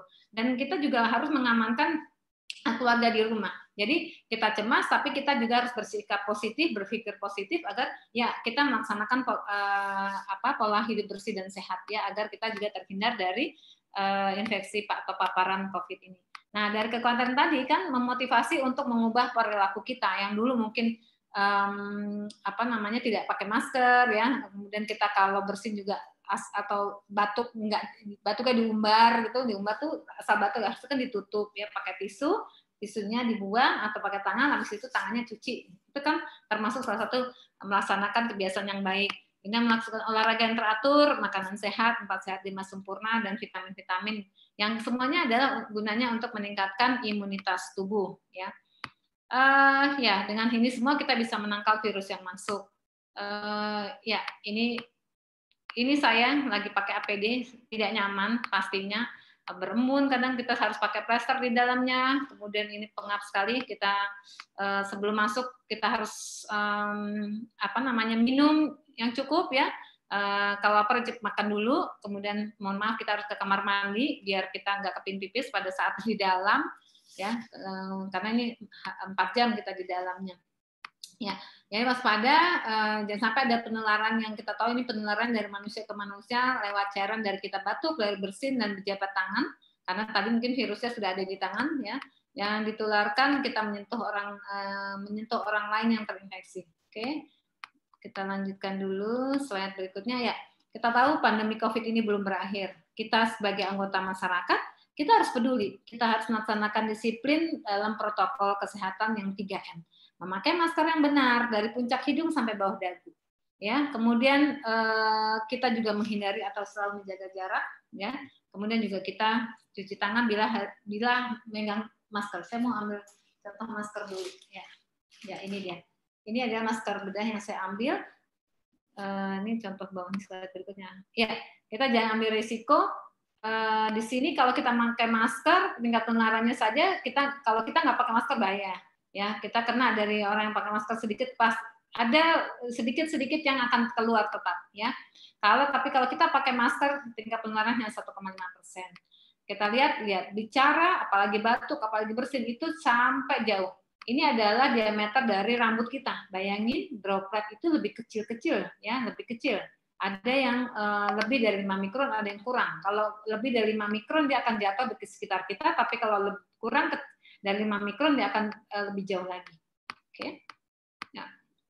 nah, ini adalah bicara masker yang benar.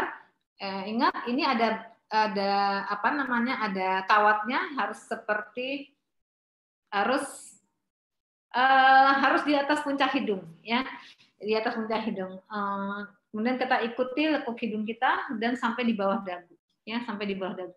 Kita lihat sini, ya.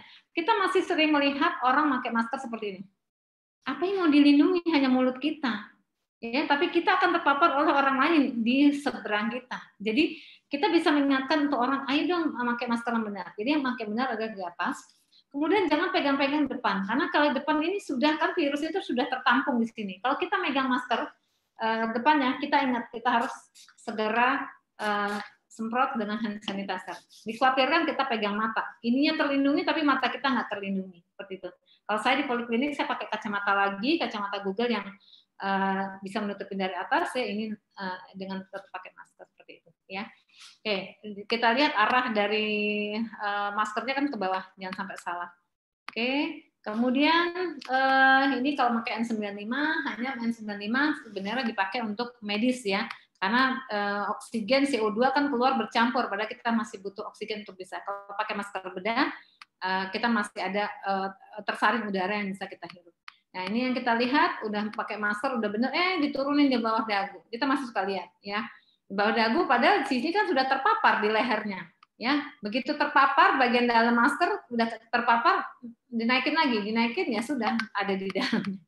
Aduh. Jadi um, pada pemerintah dan ini medsos kan sebenarnya sudah um, sudah bisa diakses ya bagaimana cara masker yang yang benar dan yang baik gitu. Jadi saya hanya melihat ini pedulinya masyarakat di mana nih gitu. ya. Nah, ini cara pakai masker yang benar yang tadi sudah dicontohkan.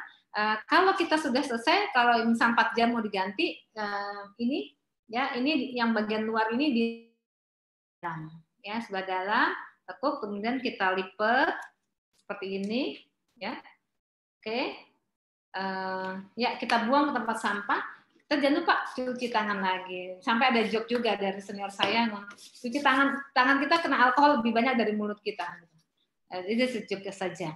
Ya ingat gunakan masker yang benar itu adalah yang utama ya yang utama.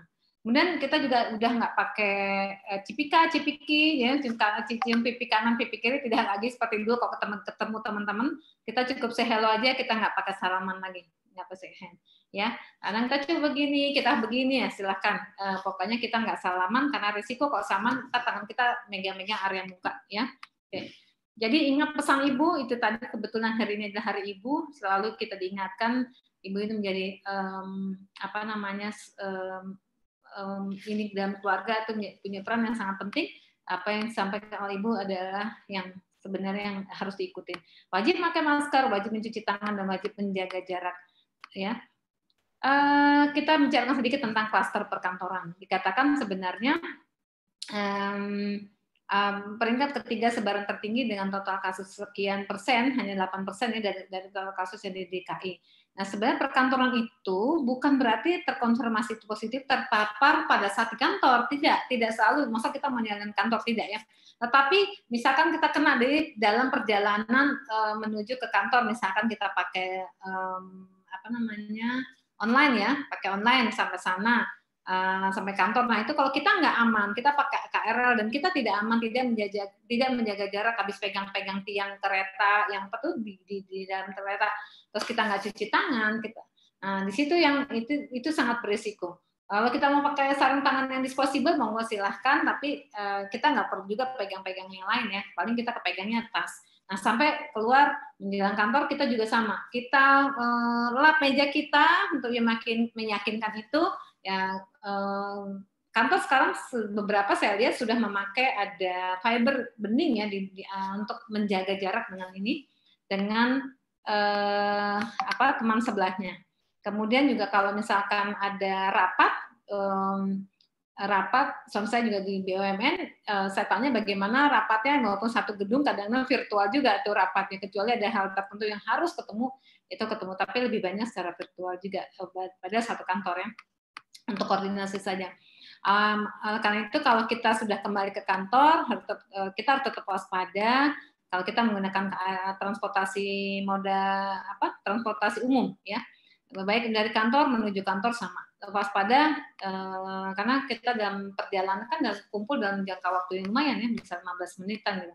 Terus juga kalau rapat di kantor mesti diatur gimana jaraknya eh, ada ada jarak. Jangan kalau dulu kan kita sebelahan ya sekarang kita berjarak sekitar satu meter, satu meter.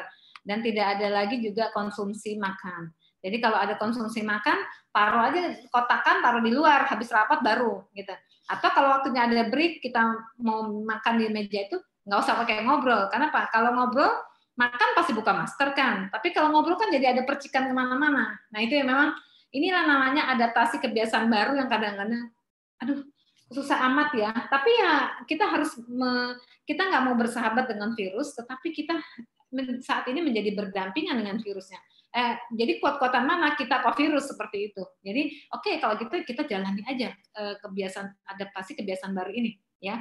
Oke Ya, jadi juga itu tadi pemerintah mengusulkan dan tidak menyajikan makan minuman sambil dalam ini kita siapkan di luar selesai rapat bahwa kalau memang rapat dalam suatu pertemuan dalam ruangan atau kalau mau duduk ya itu tadi eh, kami masih ya di eh, apa kalau misal rapat terpaksa "Duh, panjang kita aus minum ya kita buka tanpa ngobrol seperti itu. Nah, ya eh, beberapa anjuran untuk penerapan pencegahan virus ini yang bisa dilakukan untuk kluster perkantoran ya penerapan jaga jarak, sirkulasi udara di dalam ruangan juga bagus. Eh, to the point membicarakan hal-hal yang penting karena pastinya sebelum rapat sudah dibahas apa yang akan bicarakan, poin-poin yang akan disampaikan da- dan disiapkan juga saran agar mempercepat dalam uh, diskusi. Nah itu tadi bisa kan kita melaksanakan secara virtual ya. Tidak disajikan makan minuman dan pembicara boleh lepas masker, kitanya jangan. Gitu. Kalau pembicara memakai masker boleh saja. Uh, takut kan kadang-kadang merasa oh nggak jelas nih pakai masker ya. Udah bisa lepas tapi lainnya harus tetap pakai masker. Serta selalu uh, menjaga kebersihan. Ya. Uh, nah dalam perkembangan COVID-19 ini sangat dinamis. Kita masih dituntut terus belajar penularan langsung tidak langsung eh, bahkan curiga ada airborne seperti itu. Dan tadi pagi saya juga mendengar di TV One bahwa, bahwa sebenarnya saya sudah dengar di bulan Agustus September ya pernah sempat membaca bahwa ada mutasi. Cuma saya tidak berani hmm, menyampaikan atau bicara-bicara kalau saya sedang um, um, apa namanya edukasi seperti ini karena um, takut mengganggu karena saya tadi pagi saya diskusi juga dengan grup PDPI untuk bagaimana nih dengan berita di Inggris bahwa ada virus yang bermutasi dan ini sudah sudah di media televisi seperti itu ya. Nah di sini juga eh, sekarang saat ini kita menemukan kadang PCR hasil swabnya bisa sebulan lebih. Kita bilang positif persisten atau persisten yang positif persisten positif.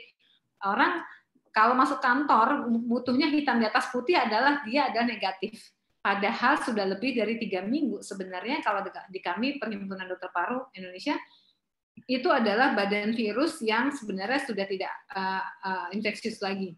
Ya, tetapi kan namanya orang kantor itu adalah butuh uh, butuh hitam di atas putihnya ya. Oke. Uh, dan ada kemungkinan reinfeksi, uh, infeksi yang berulang. Obat spesifiknya belum ada, uji klinis uh, vaksin masih sedang dikembangkan, masih berlangsung di uh, Bandung ya kayak gini oleh karena itu perubahan perilaku dan kehidupan sosial manusia yang harus lebih bisa kita bisa lebih baik. Oke. Okay. Nah, vaksin yang ideal di Indonesia pasti harus efektif, aman dan halal kalau kita yang yang diminta. Uh, ini ada perkembangan vaksin Indonesia, ada vaksin Sinovac yang sudah datang 1,2 juta, saat ini masih dalam evaluasi oleh Badan POM uh, virusnya dari sana, kemudian uh, vaksin Sinovac ini nanti akan masuk satu tiga juta dosis ya, dan nanti ada enam kriteria yang uh, yang akan diberikan untuk vaksin ini. Juga ada vaksin merah putih yang menggunakan isolat virus yang bertransmisinya di Indonesia. Jadi diambil virusnya di Indonesia, dikerjakan oleh Indonesia dan produksi Indonesia. Enam institusi yang mengembangkan vaksin merah putih ini adalah Eijkman, LIPI, UI, UGM, ITB, dan UNER lanjut Ya, dengan vaksinasi diharapkan ada kekebalan individu, kekebalan kelompok muda. Harapannya adalah permasalahan COVID-19 itu selesai harapannya. Ini semua adalah segala, adalah bentuk upaya dari pemerintah uh, dalam pemenuhan atau mengatasi pandemi ini. Ini ada enam kelompok prioritas penerima vaksin. Kelompok pertama tadi tenaga medis, para medis yang melaksanakan kontak, kontak tracing, mencari siapa saja yang kontak dengan si A yang tadi positif. Nah, itu kontak tracing petugasnya yang memberikan pelayanan publik seperti di TNI, Polri, dan aparat hukum. Kemudian kelompok kedua adalah masyarakat, tokoh agama, sampai ke RT RW. Kemudian kelompok ketiga tenaga pendidik dari PAUD sampai perguruan tinggi. Kelompok keempat aparatur pemerintah baik di pusat maupun daerah serta legislatif. Kelompok kelima peserta BPJS yang penerima bantuan iuran PBI ini ada yang yang dibayarkan dibayar pemerintah ya dan kelompok 6 masyarakat usia 19 19 sampai 59 tahun. Mungkin uh, Bapak Ibu kalau tidak masuk yang 5 berarti masuk yang sebelah sini, ini masuk kelompok 6 ya. Uh, sedangkan nanti regulasinya akan diatur oleh Kementerian Kesehatan. Sempat heboh kemarin pada orang daftar ya. Wah, ini seru juga nih pendaftaran untuk vaksinasi orang juga pingin ingin teraman, uh, ingin diamankan gitu ya. Oke. Okay.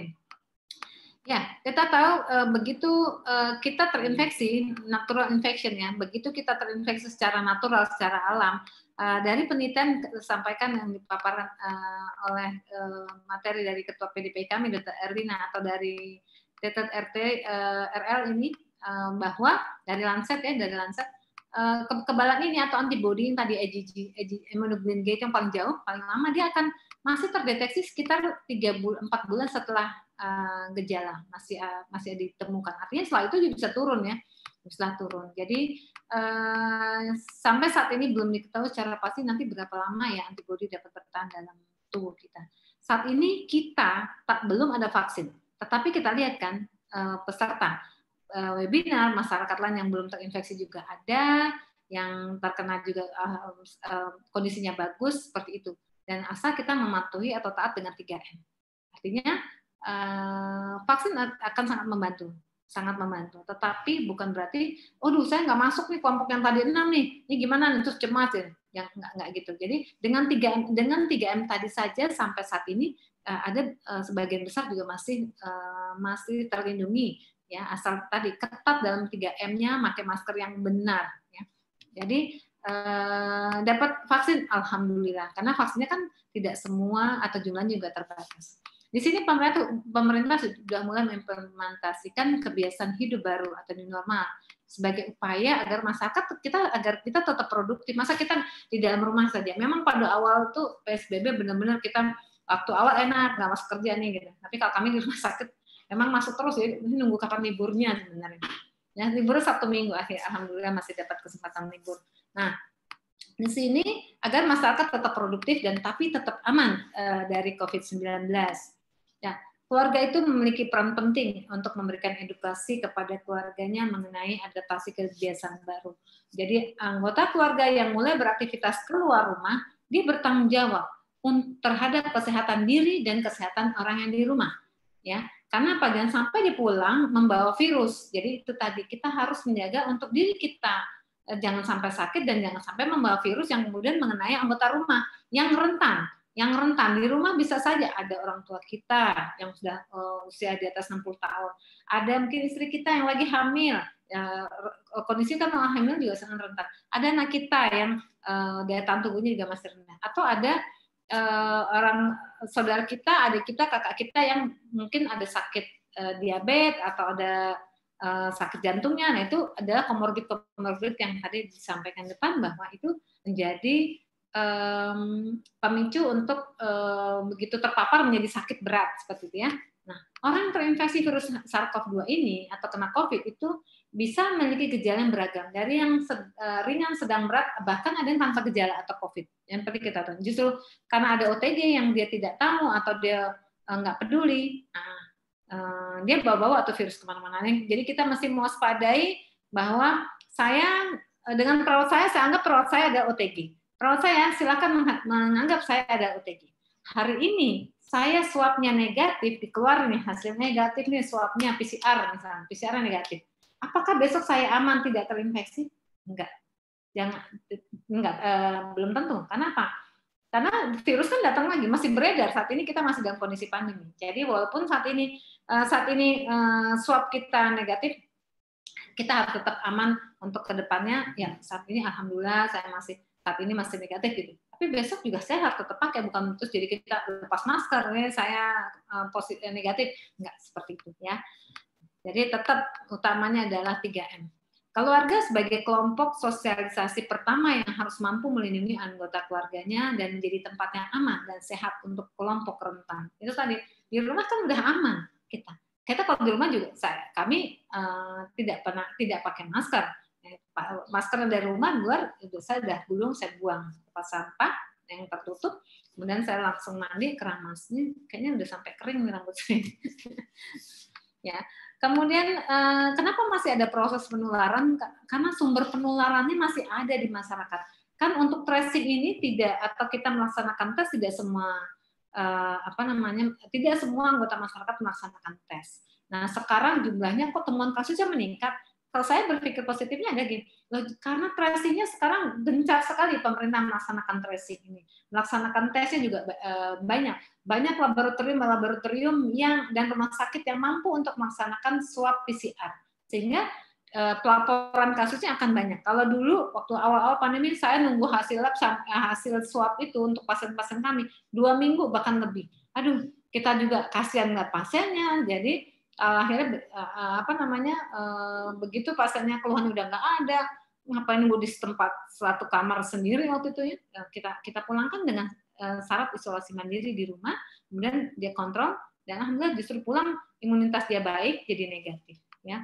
Jadi di sini yang perlu ditekankan bahwa sumber penularan masih ada di tengah masyarakat yang masih mengabaikan protokol kesehatan karena apa? Kalau kita ketemu orang yang tidak pakai masker yang benar, dia OTG nggak ya? Kan kita berpikir seperti itu.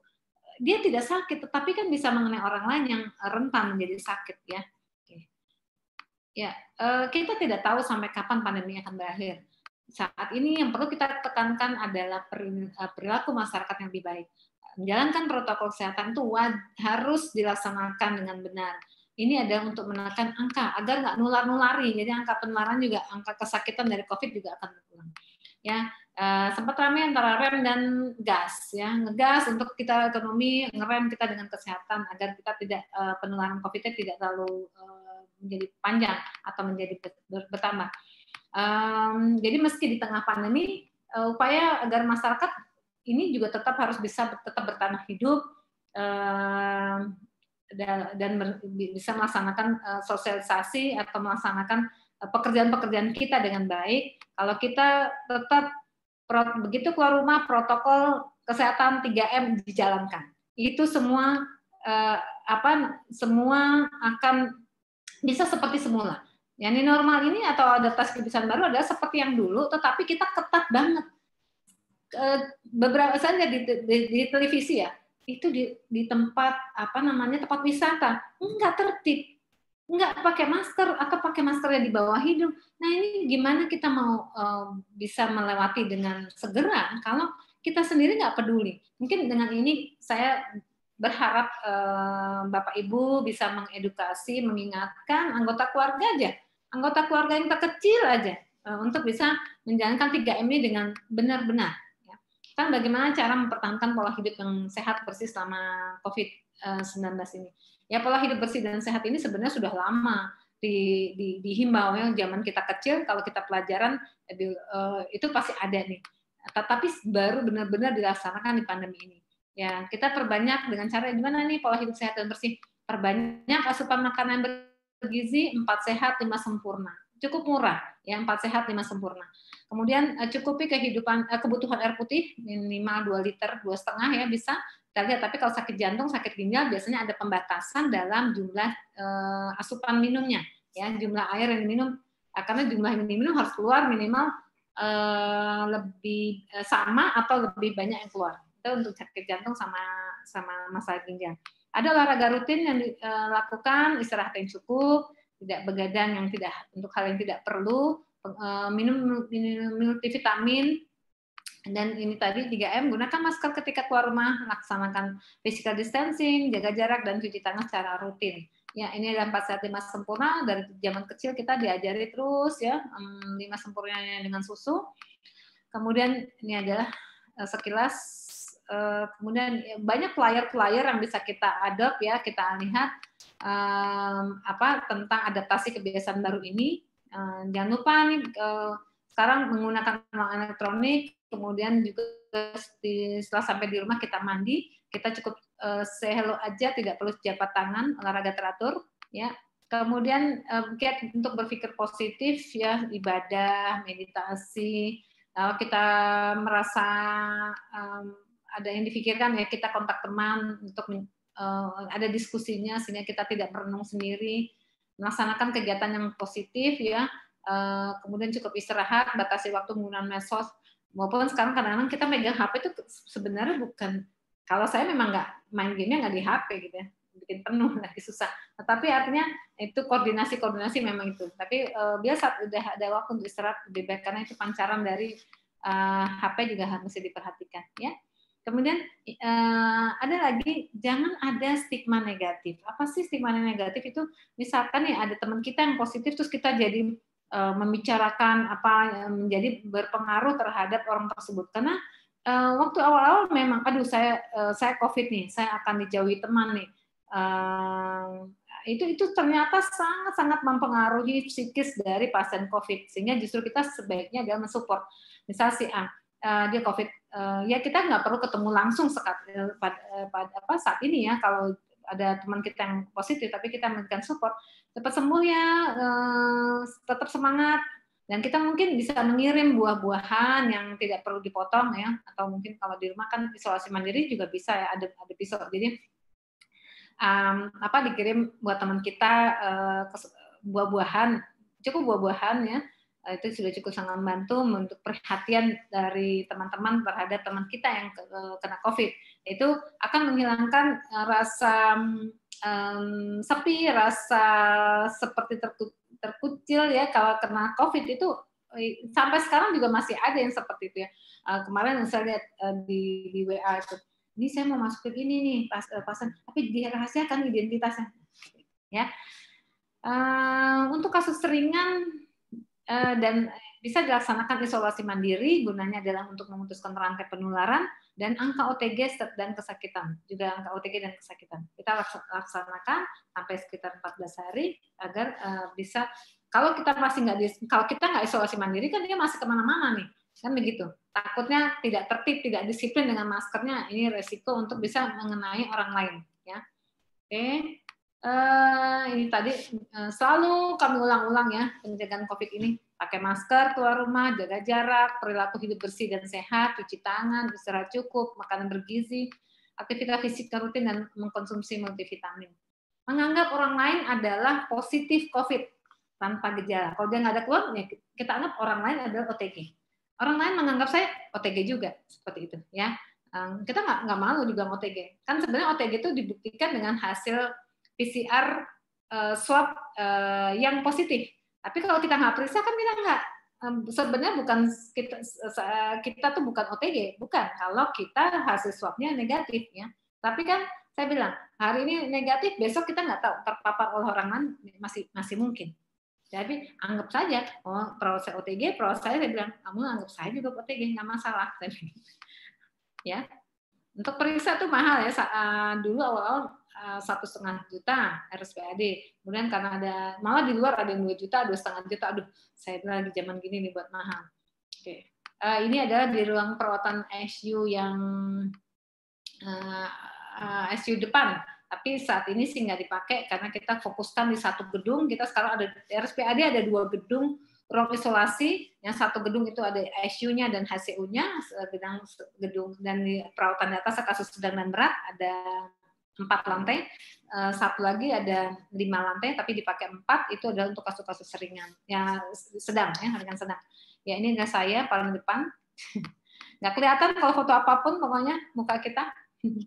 ya ini kalau coba ini saya juga sedang meriksa ini di fotonya dengan CCTV di luar. Saya bilang coba deh foto kayak apa, ternyata kayak pocong ya.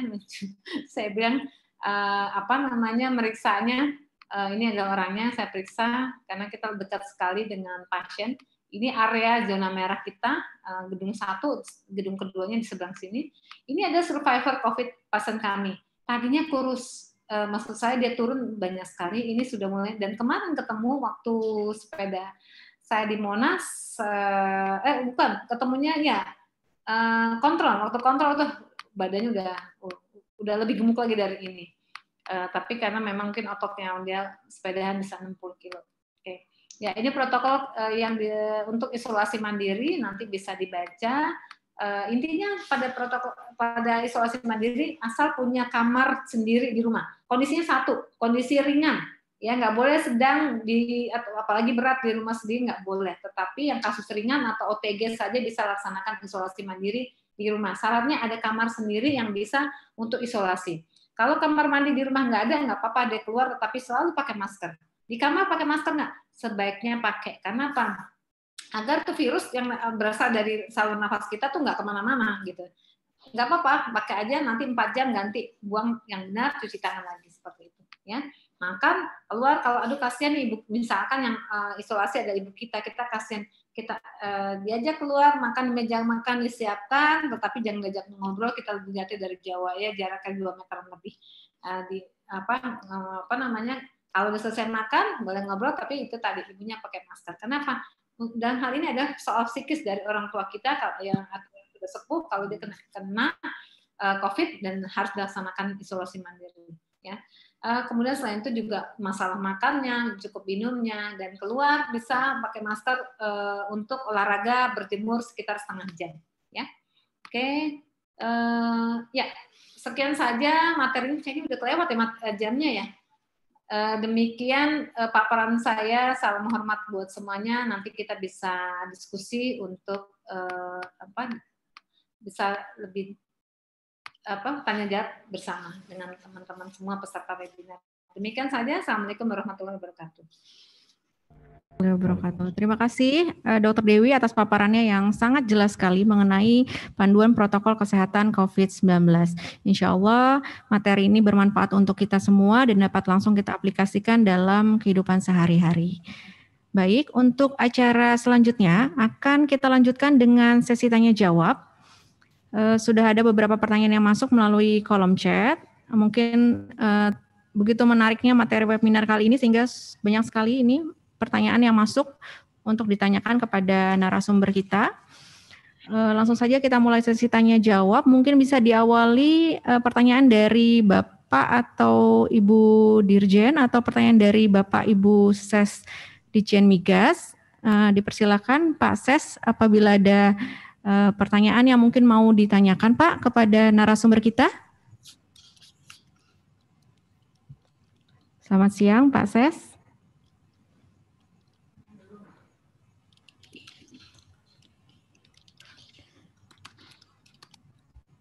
Selamat siang Pak Ses. Apakah mungkin ada pertanyaan Pak yang ingin eh, ditanyakan kepada narasumber kita Pak?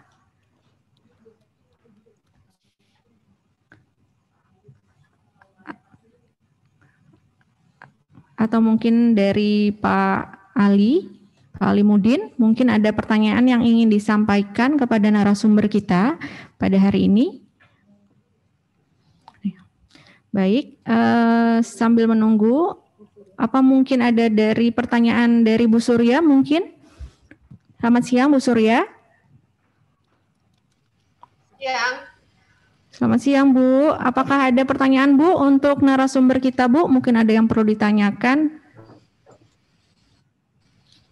Ya, terima kasih atas penjelasannya tadi Bu Dokter eh, Dewi yang sangat bermanfaat. Pertanyaan saya yang pertama adalah eh, rekomendasi terhadap eh, jenis masker Bu yang eh, bagus untuk mencegah penularan COVID. Kemudian yang eh, pertama, yang kedua barangkali rekomendasi terhadap eh, suplemen dan sekarang ini kita kalau eh, sedikit demam gitu aja kan udah, waduh kenapa nih gitu ya Bu ya. Nah, suplemen yang mungkin eh, bisa lebih meningkatkan imun kita terhadap terutama terhadap COVID ini. Kemudian eh, rapid test kadang-kadang reaktif, ya Bu. Tapi swabnya negatif. Ada juga kasus rapid testnya non reaktif, swabnya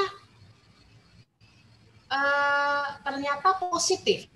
Nah, ini kadang-kadang rada rada rada rada ini juga ragu juga kalau eh, belum swab itu. Dan keakurasian dari ini bu. Keakurasian dari eh, apa sekarang rapid yang antigen itu berapa persen? Mungkin itu aja bu. Terima kasih. Yang umum-umum saja dulu. Baik, terima kasih Bu Surya atas pertanyaannya. Mungkin bisa langsung dijawab kepada Dr. Dewi. Yang pertama adalah rekomendasi jenis masker ya dok, yang paling baik itu seperti apa, dan rekomendasi suplemen yang paling baik, juga keakurasian dari rapid test dan rapid antigen yang saat ini sedang marak kita laksanakan. Silakan Dr. Dewi, dipersilakan. Ya, terima kasih Dokter Putri. Yang pertama tadi tentang masker. Intinya masker itu adalah harus seperti tadi slide bahwa harus menutupi dari atas hidung dipasangnya sampai ke bawah dagu kita. Dari puncak hidung di sini nanti dia akan ditekuk eh, maskernya, ya. Kemudian ini saya ambil masker lain. Ya, dia tertutup rapi di sampai menutupi ke samping dan bawah dagu. Ya. Itu masker yang benar. Jangan pakai masker kain ibu, karena masker kain itu eh, fungsinya dia akan bis- ada pori-porinya yang bisa masuk ke dalam. Kecuali habis masker bedah kan saya lihat karena kita suka ada eh, contoh nih eh, kita lagi acara mutuat kita ada masker yang pakai logo-logo gitu kan biar ada nah itu biasanya saya double masker masker bedah terus ditambah masker masker kainnya. Uh, kemudian kalau masker N95 itu dipakai oleh tenaga medis yang berkontak langsung dengan pasien di ruang isolasi. Uh, dan itu batasan waktu hanya 4 jam karena kalau ini bukan N95 tapi kurang lebih seperti ini dia bulat Ibu, bulat. Nah, itu oksigen mau dihirup susah, mau CO2 yang keluar juga tumpuk bertumpuk di dalam sini. Makanya kalau orang pakai N95 kelamaan tuh udah keliangan uh, karena apa oksigennya kan tidak tidak apa tidak cukup ya.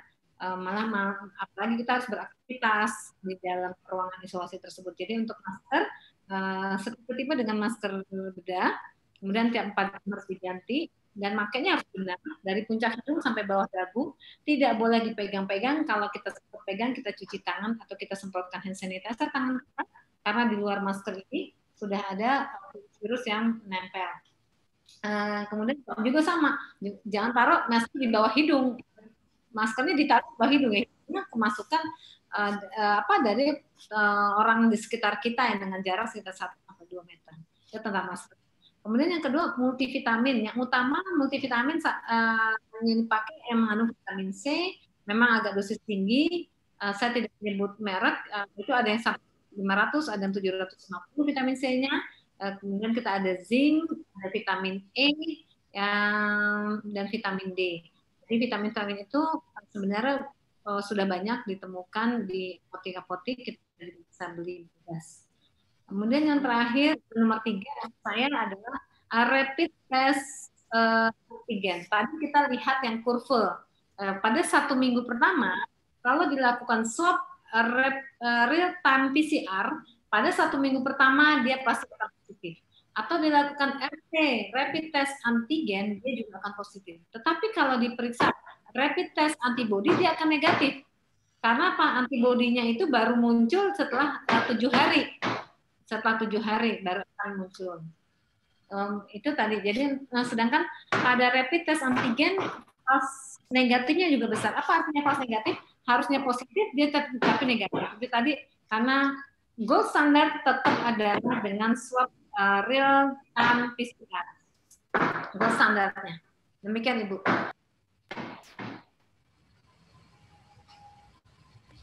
Baik, terima kasih Dr. Dewi atas jawaban dari pertanyaan Ibu Surya. Akan kita lanjutkan ke pertanyaan kedua. Uh, ini sudah banyak sekali pertanyaan yang terdapat di kolom chat kami. Kita bacakan. Yang pertama dari Bapak Ahmad Lutfi. Izin bertanya, Uh, saya dengar di UK sedang ramai mutasi virus COVID yang lebih menular. Mohon dapat dijelaskan lebih lanjut dan apakah berarti vaksin yang telah disiapkan tidak akan efektif untuk virus-virus yang bermutasi seperti itu? Mohon dijelaskan apakah yang dilakukan saat pandemi tahun 1918 sehingga bisa hilang? Apakah ada vaksin dan semacamnya atau hilang dengan sendirinya? Begitu dok, pertanyaannya bisa langsung dijawab Dokter Dewi. Terima kasih Pak Lutfi. Uh, untuk yang pertama, tadi memang uh, sampaikan bahwa tadi pagi uh, satu media televisi uh, ada virus di Inggris yang kami dinyatakan ada mutasi.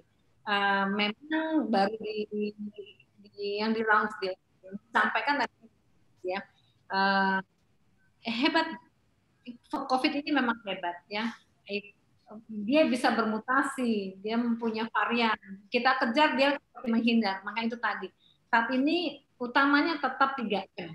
Uh, tugasnya virologi, ahli mikrobiologi ini yang akan atau ahli mikrobiologi di khususnya adalah virologi yang harusnya meneliti bagaimana hmm. nanti varian uh, baru dari COVID ini apakah betul uh, apa namanya mun, sudah sudah mulai ada mutasi ya. Dan pasti pemerintah juga harus mengantisipasi uh, tentang perjalanan perjalanan dari virus ini. Kita tahu dari Wuhan bisa ke mana-mana. Itu karena perjalanan terbawa atau akhirnya memang sakit membawa dan sakitnya pasti di kita. Nah itulah uh, dan tadi pagi juga saya sudah sampaikan pada PDP pusat dan cabang Jakarta bahwa bahwa ini ada berita di mana di Inggris ya kita juga harus antisipasi.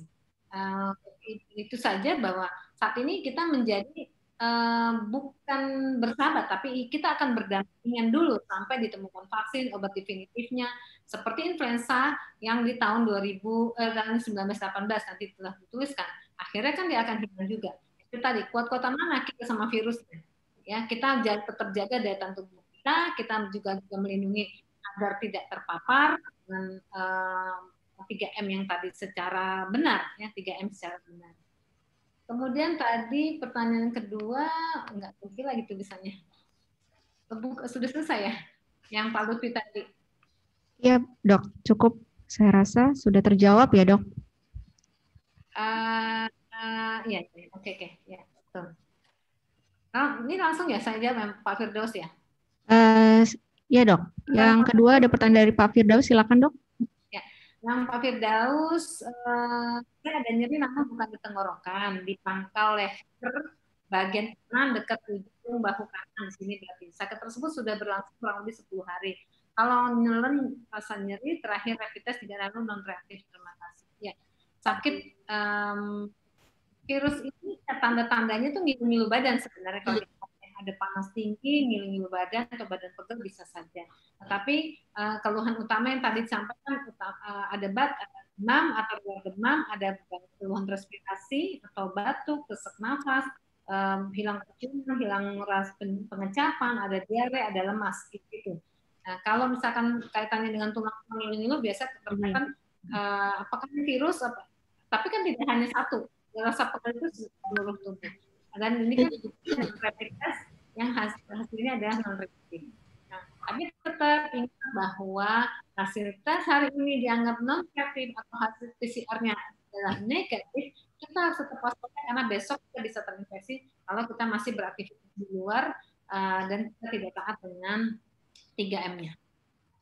Eh, lanjut dengan yang ketiga ya, Pak Yunan ya. Mungkin eh, pertanyaan ketiga tadi sudah terjawab ya dok mengenai multivitamin jenis apa yang efektif untuk eh, pertahanan tubuh ya dok. Mungkin kita lanjut ke pertanyaan nomor empat ya dok dari Ibu Meli. Eh, apakah hasil eh, saturasi dari oximeter dapat menjadi indikator valid memastikan orang terkena COVID atau tidak dan apakah pasien COVID pasti statusnya rendah? Jadi itu tergantung dari luasnya seseorang atau luasnya virus itu me- membuat eh, mengenai sensor kita. Tadi di ronsen thorax, di CT scan eh, terlihat bahwa kalau yang kasus yang normal hitam, eh, tapi kasus ringan sudah mulai ada putih-putih, kasus sedang putihnya lebih banyak, kasus berat menyel- menyelimuti. Nah, saturasi oksigen pada kondisi sedang itu mulai terganggu. Ya, normal kita adalah 97, 98, terus kita nafas dalam sekitar satu menit, pasti saturasinya akan naik. Nggak sampai satu menit lah, setengah menit tidak, tapi saturasi oksigen yang di- diperiksa dengan oximeter yang ada di jari, dia akan naik. Ya.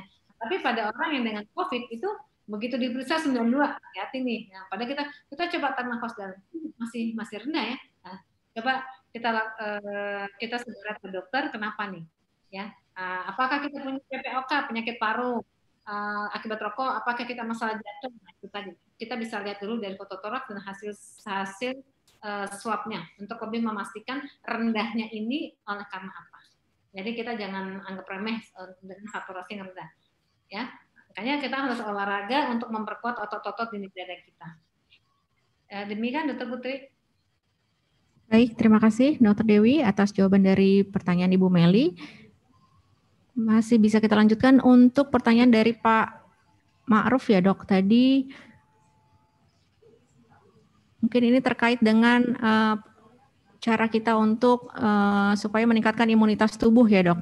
Ya, ya itu eh, iya betul eh, Pak Ma'ruf bahwa bagaimana tubuh kita Allah sudah memang menciptakan bahwa kita tuh punya tentara-tentara dalam tubuh kita atau mem- punya eh, pertahanan dalam tubuh kita yang eh, untuk melawan apa pun yang masuk ke dalam ya.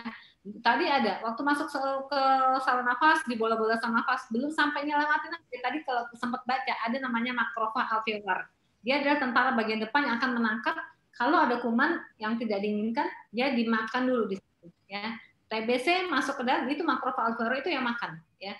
Eh, jadi memang eh, tubuh kita mempunyai eh, pertahanan tubuh. Contoh juga, misalkan kaki kita ada luka, pernah nggak ada yang membesar kelenjar di lipat paha? Itu adalah eh, tubuh memberikan respon membentuk tentara-tentara yang banyak sehingga kelenjar di lipat paha kita jadi membesar.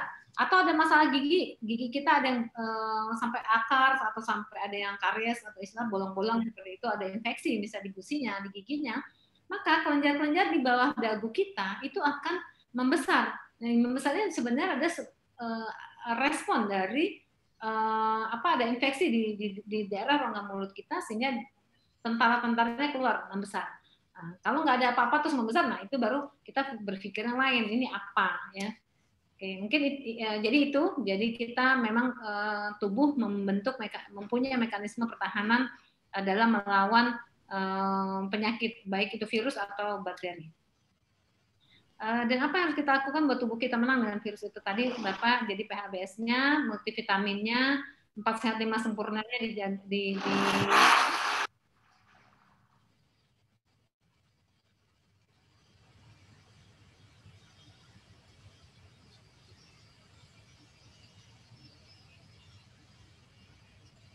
saya pindah ruangan karena tetangga tetangga lagi ngebor ini.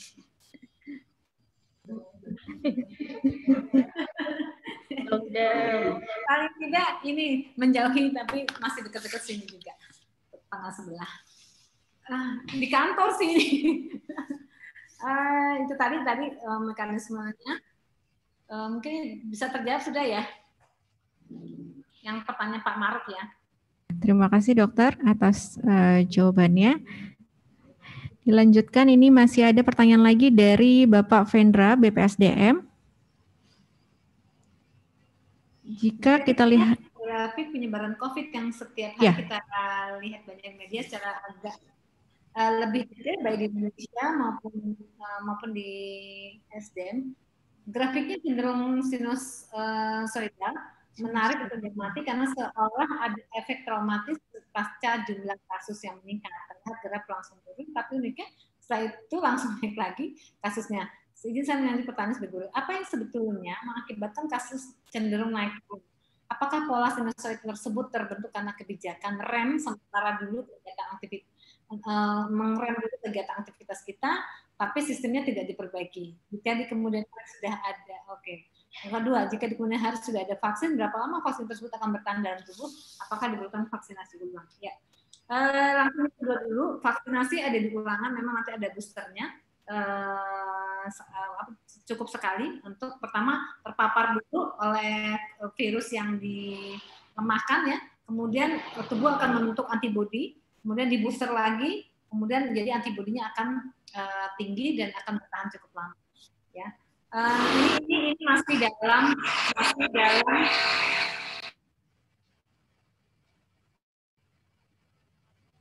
Ya, ini masih kita menunggu lagi regulasi hasil penelitian dari BAN. Kemudian, yang ke- eh, kemudian pertanyaan nomor satu tadi, kenapa cenderung naik turun? Apakah gas dan rem itu tadi sebenarnya eh, memang sangat menarik ya. Kenapa kita harus ada gas dan rem gitu? Kalau kita sudah melaksanakan 3M dengan baik, ya itu sebenarnya sebentuk remnya kita. Ya aktivitas kita bisa kembali normal, kita bisa uh, beraktivitas ya seperti dulu itu yang namanya makanya new normal atau adaptasi kebiasaan baru. Barunya adalah kenapa ditambah dengan 3M. Saya coba deh kita lihat di, di, di kalau kita ke mall atau kita pergi ke tempat lapangan olahraga atau kita pergi ke tempat apa ya jalan-jalan ya tempat wisata. Betapa masih cukup banyak. Ini apakah karena kita kurang kencang untuk marahin orang gitu ya atau em, terlihat bahwa mereka tidak peduli saya ini mungkin nunggu sakit kali ya gitu. Jadi kadang sedih juga melihat kurang pedulinya. Apa ini um, hanya bisa tersampaikan pada orang dengan high educated atau kalau educated tidak tersampaikan tidak. Tapi buat saya ini ada beberapa, ada beberapa, tidak semua, ada beberapa yang tidak peduli. Ya itu tadi tugas kita semua um, dan yang bertugas di kementerian, uh, termasuk di BUMN untuk selalu mencatat paling tidak keluarga kecil dulu lah kita ini untuk bisa mengingatkan keluarga kita menjalankan 3M secara benar. Secara disiplin 3M-nya harus betul-betul dilaksanakan. Demikian, uh, Dr. Putri. Baik, terima kasih Dr. Dewi atas jawaban dari pertanyaan Bapak Vendra. Masih ada lagi, dok. Ini dari pertanyaan Bapak Yunan. Ya, dok.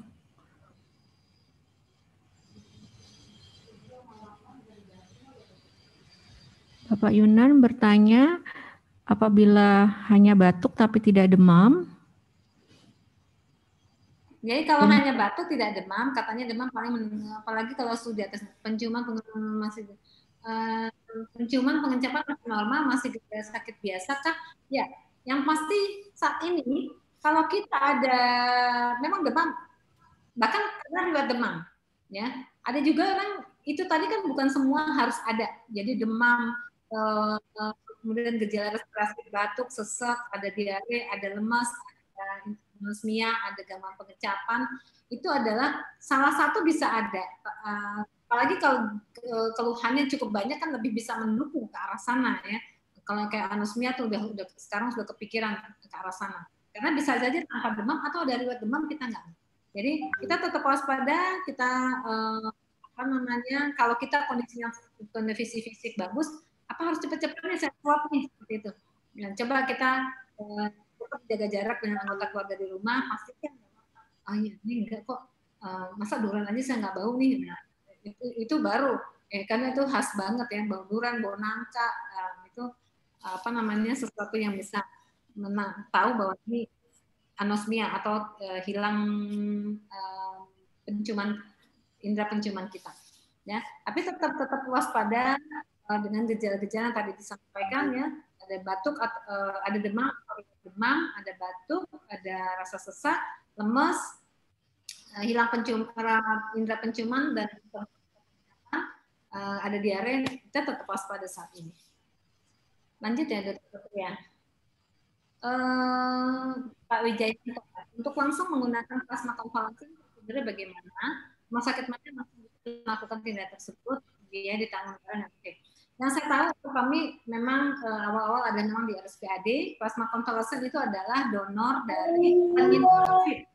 Eh, memang sangat berharap sekali kami di RSPAD para penyintas COVID ini bisa datang ke RSPAD untuk bisa dicek antibodinya kalau antibodinya itu um, memenuhi uh, kita punya kriteria ya kita kan juga dari pengawasan dan Kementerian Kesehatan.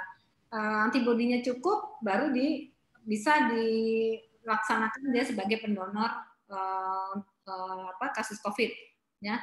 Uh, jadi diambil itu darahnya uh, dikeluarkan ya. Kemudian disaring kemudian plasmanya diambil darahnya masuk lagi ke dalam ya masuk lagi. Dan itu butuhnya sekitar dua kantong. Apa enggak? Uh, untuk biaya itu hanya diganti, hanya mengganti biaya proses pengolahan saja. Biasa biaya proses pengolahan saja sama kantongnya. Dan sempat uh, sempat juga kita kekurangan kantong waktu itu. Uh, jadi uh, tidak mahal. Yang saya tahu ya Kemudian syaratnya juga pendonor harus usia di bawah 60 tahun karena kita harapkan antibodinya masih cukup tinggi. Dan belum tentu semua pada penyintas COVID yang sudah sembuh harusnya dalam dua minggu harus segera jadi pendonor agar diharapkan antibodinya masih cukup tinggi. Karena antibodinya kan akan turun pada 3-4 bulan.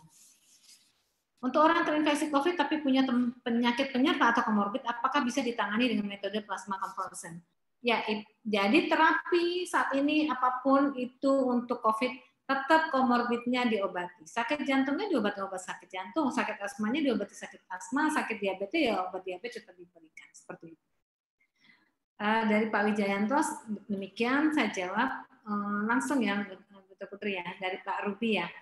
Untuk OTG yang isolasi mandiri di rumah, apa sajakah yang harus dipersiapkan dan obat-obat saja harus dikonsumsi? Ya, uh, isolasi mandiri di rumah untuk bukan hanya untuk OTG, tetapi untuk kasus yang ringan juga bisa dilaksanakan saat ini. Karena kita tahu Wisma Atlet saja sudah penuh, ya uh, rumah sakit hanya merawat pas kasus-kasus yang sedang dan berat.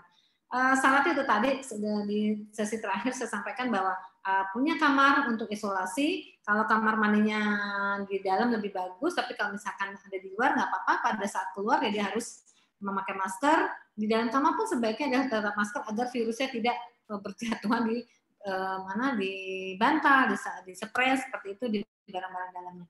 Ya, Kemudian eh, empat sehat lima sempurnanya, istirahat juga cukup. Selalu berpikir positif, saya harus sehat, saya harus bisa melawan sakit ini. Eh, laksanakan ibadah seperti biasa, yang sholat, yang berdoa. Kemudian eh, pagi berjemur eh, sekitar setengah jam olahraga ringan. Ya, itu yang dilakukan dengan terapi obat-obatan multivitamin. Kalau memang eh, ada obat antivirusnya, dikonsultasi dengan dokter, di- dipersilakan. Lanjut, Mbak. Habis ya, selesai ya? Masih ada beberapa lagi, Dok? Oke, Pak Kursila Wulan, dok apakah pasti aman untuk orang yang COVID? Makasih ya. Jadi untuk eh, kita menunggu regulasi hasil dari eh, yang di Bandung ya. Yang pasti komorbid itu harus diobati untuk komorbidnya. Eh, jangan terus eh, apa namanya abai dengan komorbid maunya dapat vaksin tidak, tetapi komorbidnya harus diatasi juga ya. Kemudian dengan Pak Umar Yadi, eh, apakah jenis golongan darah dapat dinilai lebih resisten terhadap COVID? Tidak, Pak. Saat ini pasien kita macam-macam, makanya kemarin sempat kosong plasma konvalesen di RSPAD, ada yang yang cepat habis ada golongan darah A memang. Oke, A, O, O juga susah ya. Eh, Ibu Irna Anggriani, apakah vaksin merah putih aman eh, buat usia 50 tahun ke atas? Ya, vaksin eh, tadi kalau dari regulasinya akan diberikan eh, kisaran sampai usia 59 tahun. Eh, tadi penjelasan memang vaksin merah putih isola virusnya memang eh, virus yang beredar eh, di Indonesia. Eh, dan ini masih dalam eh, proses, masih dalam penelitian yang enam institusi tadi eh, dari Eijkman, dari UNER, UGM, UI, lagi tadi ya? Em, ah, saya lupa. Ada namanya yang sedang mengembangkan sedang melaksanakan penelitian. LIPI yang termasuk sedang melaksanakan penelitian. Kita tunggu saja. Eh, apa pun itu eh, silakan eh, bapak ibu kita mendengarkan informasi eh, tetapi tapi jangan sampai mengganggu. Karena saya kita yakin lah bahwa pemerintah kan pasti akan berbuat berbuat yang terbaik buat anggota masyarakatnya buat penduduknya Nah, dan agar Indonesia juga kita perekonomian tetap jalan kita bisa beraktivitas seperti dulu lagi dengan um, adaptasi kehidupan kebiasaan barunya dan 3M-nya. Kemudian dengan dari Pak Budi Winarso, kenapa metode plasma tidak lebih dikembangkan? Apakah vaksin lebih aman? Apakah ada efek samping penggunaan vaksin? Bisa rekomendasi merek vaksin yang mana yang aman? Uh, untuk rekomendasi vaksin yang aman, saya tidak bisa menyampaikan saat ini. Memang sedang yang ada Sinovac, kemudian yang kita dari Inggris ada, yang dari Rusia sedang ada. Nah, kita tunggu saja. Kalau saya tetap akan berpedoman pada hmm, perhimpunan uh, dokter paru nanti yang akan terus mengawal, Badan POM juga akan mengawalnya. Uh, metode plasma tidak dikembangkan. Uh, ini ini barang baru. Ya, COVID ini adalah barang baru. Uh, kalau uh, dulu untuk dalam pengembangan vaksin itu kan perlu waktu beberapa tahun ya. Ini kita harus bergerak cepat karena pandemi uh, sehingga kita melihat literatur beberapa tahun yang lalu terhadap SARS, obat ini, ini bahkan ada yang ngomongin obat ivermectin, obat anti uh, obat untuk cacing juga sempat diberikan karena itu pengalaman dari yang sebelumnya, se- se- pengalaman dari uh, kasus SARS apa kasus SARS ya. Kalau ini kan SARS-CoV-2 ya. Ini SARS yang pertama. Eh, di situ digunakan hal itulah eh, referensi-referensi kemudian makanya ada ngomongin antikoagulan, ngomongin em, apa namanya antivirus yang baru ini. Nah, kita saat ini terapi di ruangan pakai eh, ravipiravir sama remdesivir ya. Itu eh, obat virus yang kita gunakan memang. Eh, apakah ada efek samping penggunaan vaksin? Apa pun itu, pasti nanti syarat dalam penggunaan vaksin akan dilihat kesiapan. Kita juga harus sehat sebelum menerima vaksin. Ya, Eh, jangan lagi kita lagi sakit berat, eh, lagi flu, juga kita nggak nanti dulu. Ya, kita sehatkan badan kita eh, dalam menerima vaksin ini. Eh, Ibu Ana Kartikawati. Assalamualaikum Dr. Dewi. Salam mohon izin tanya sebelumnya izin untuk menceritakan permasalahan dulu. Pada saat awal pandemi terjadi di Indonesia Maret ya kita pandemi Maret tanggal 2 Maret itu diumumkan ada dua kasus tanggal 11 Maret kemudian WHO mencanangkan sebagai kondisi pandemi. Nah satu dua minggu setelah pengumuman kasus positif pertama saya sempat melakukan sesak napas dan tidak bisa mencium bau. Dan rasa namun saya tidak mengalami gejala lain seperti uh, tidak mengalami gejala tidak membatukannya rasa sesak ya Saya merasakan gejala tersebut kurang lebih hanya dua minggu dan selama itu saya tidak tidak ke dokter karena saya sedang hangat-hangatnya kasus COVID sehingga ada ketakutan untuk ke klinik atau rumah sakit. Dan karena tidak ada gejala lain seperti demam uh, serta suami maupun anak di rumah juga dalam keadaan sehat, jadi saya merasa memeriksakan ke dokter. Pertanyaan apakah saya perlu apakah saat saat ini saya perlu memeriksakan diri di Ronsen karena info yang saya dengar orang yang pernah positif akan mengalami dampak tertentu pada paru. Ya, jadi tergantung luas. Tadi kita uh, dari foto toras kita lihat ada yang kasus yang ringan sedikit saja putih-putihnya, ada yang kasus berat kita lihat putih-putih semua. Uh, kalau bisa jelas lagi. Nah, pada kasus yang berat biasanya uh, yang kita lihat ada terjadi fibrosis. Fibrosis itu uh, jaringan parut seperti tangan saya pernah dijahit, dan itu ada luka yang terlihat di parut. Nah, parut di paru itu bisa menimbulkan bejas yang kalau luas itu mengganggu dalam fungsi kembang kempisnya paru karena parunya jadi kaku. Nah, kalau misalkan ini uh, tadi Ibu ya um, ingin memeriksa diri, sebaiknya tidak bisa pakai ronsen, tapi sebaiknya dengan CT scan torak untuk bisa tahu lebih detail. Ya, karena kan kasusnya udah di awal ke bulan Maret, sekarang bulan 12. Nah, kalau kalau tidak ada keluhan sebenarnya nggak usah ya. Tapi kalau ingin tahu kan ada orang um, ingin tahu uh, istilahnya namanya jadi screening. Screening kayak saya dokter paru, saya juga CT scan torak. Karena perintah oh ada bleb, oh ada ini, ada ini, saya nggak tahu. Saya menceritakan kepada orang lain, yang tidak saya tahu diri saya sendiri. Diri saya juga nah, demikian. Eh, itu saja. Uh, apa dengan mencuci tangan kita virusnya mati? Ya. Baca pertanyakan. Ah, lalu lanjut ya. WA. Pertanyaan ter pertanyaan terakhir dok di nomor 15. Oh iya, ya, itu tadi mencuci tangan apakah virusnya mati? Mencuci tangan kita dengan mengalir dengan sabun. Tambahan tambahan sabunnya lupa Pak Wahyu. ya. Tapi paling, paling tidak kita sudah mencucikan diri, ya, dia akan bawa air, apalagi kalau pakai sabun virusnya juga akan mati. Demikian. Demikian Baik. saja. Terima kasih banyak eh, dokter atas jawaban dari seluruh pertanyaan peserta webinar. Terima kasih. Eh, tidak terasa waktu sesi tanya jawab kita telah selesai. Mohon maaf mungkin mas mungkin ada pertanyaan-pertanyaan lain yang mungkin belum terjawab oleh narasumber kita. Insya Allah nanti masih bisa kita tampung akan ditanyakan setelah acara ini selesai. Terima kasih kepada Dokter Dewi selaku narasumber kita yang telah berbagi ilmu tentang protokol COVID-19. Terima kasih juga kepada para peserta webinar yang telah berpartisipasi dalam webinar ini. Sebelum beralih ke acara terakhir, izinkan saya untuk memberikan sedikit kesimpulan dari webinar kita pada hari ini, yaitu bahwa COVID-19 dengan gejala utama demam, batuk, gangguan pernafasan, dengan penularan secara droplet, yaitu dengan batuk, bersin, e, berjabat tangan, dan pemeriksaan gold standar yang perlu dilakukan adalah dengan PCR swab. Dan bahwa vaksin COVID itu aman, e, nanti akan dilakukan sebanyak dua kali. Dan adanya kebijakan adaptasi kebiasaan baru tidak lain adalah sebagai upaya agar kita tetap bisa bertahan hidup. Nah, multivitamin yang diperlukan uh, untuk kita uh, meningkatkan imunitas kita adalah dengan jenis vitamin C, D, E, zinc juga D. Dan uh, relatif semua multivitamin itu sebetulnya aman dan baik. Agar imunitas tubuh meningkat diperlukan uh, berpikiran positif, hindari stres, juga istirahat dan konsumsi uh, makanan empat sehat lima sempurna sehingga kita dapat terhindar dari COVID-19 dan bahwa pandemi ini belum tentu kapan akan berakhir tapi kita semua berharap akan segera berakhir tapi tetap perlunya kedisiplinan dan kewaspadaan dengan protokol COVID 3M, yaitu dengan menjaga jarak, mencuci tangan, dan memakai masker. Perlakukan orang lain sebagai positif COVID OTG agar kita tetap waspada dan semoga yang terakhir adalah semoga keluarga besar eh, Kementerian Energi Sumber Daya Mineral selalu sehat dan terhindar dari COVID-19 ini.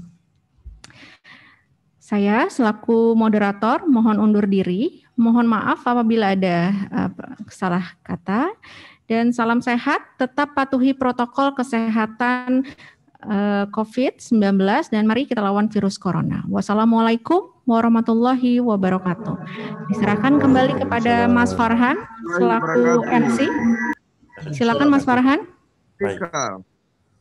Baik, terima kasih. Eh, mari kita berikan tepuk tangan yang meriah melalui emoji ataupun tepuk tangan dari virtual ke, ke narasumber Dr. Dewi dan dokter kita Dr. Putri. Baik, eh, dapat kami ingatkan eh, dan mohon izin juga ke Bu Dr. Dewi agar materi nanti kita coba share ya Bu Dewi ya ke para peserta webinar. Jadi nanti minta tolong para peserta mengisi daftar hadir, jadi kita bisa langsung otomatis kirim ke alamat email yang dikirim di daftar hadir tersebut. Kemudian nanti recording ini kita tetap bisa share juga, nanti bisa mengakses uh, akun Halo Migas DJ Migas yang ada di YouTube. Nanti video recording ini akan kita upload di sana. Baik, kita foto bersama terlebih dahulu ya Bapak dan Ibu uh, untuk dokumentasi kita. Jadi mohon uh, dapat menyalakan videonya.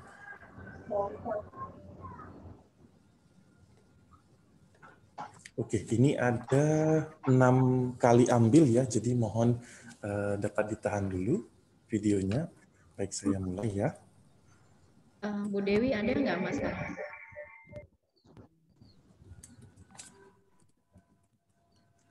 Bu Dewi. Hmm. Oke, ada, siap.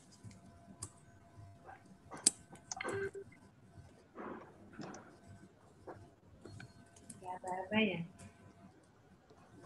Oke, ini saya sambil uh, langsung saya ambil ini, Bu. Uh, ya udah yang ketiga.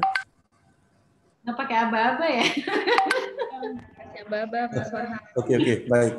Uh, mulai ya. Uh, satu, dua, tiga. Saya ambil gambarnya. Salam sehat. Take yang kedua, satu, dua, tiga. Oke, take yang ketiga, satu, dua, tiga. Take yang keempat, satu, dua, tiga. Nama kita kan ada ya di situ ya? Take yang kelima. Ada.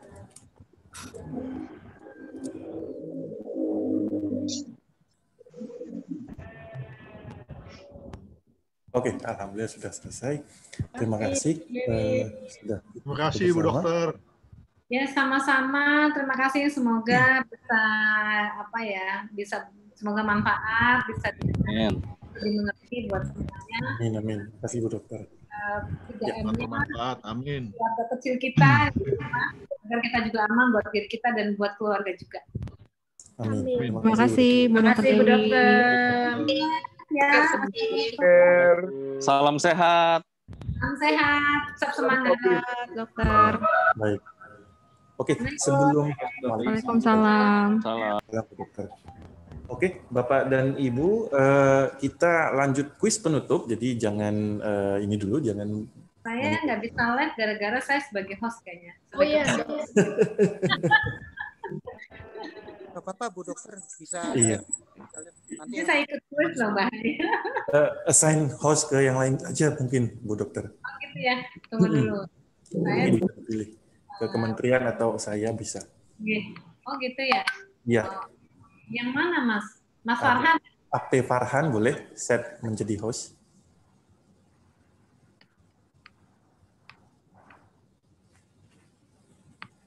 Terima kasih Mas Farhan. Oke, okay, siap. Siap. Mantap. Terima kasih Bu Dokter. Terima kasih Bu Dokter Dewi, Dokter Putri.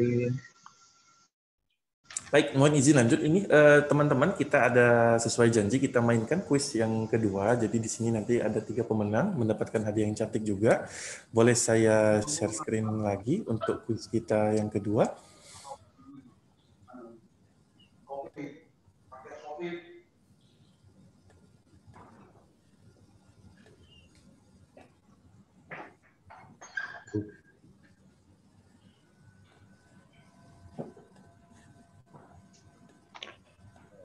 Oke, kelihatan ya di layar Zoom-nya. Jadi silakan masuk ke kahoot.it dan masukkan kodenya 5527477. Ayo.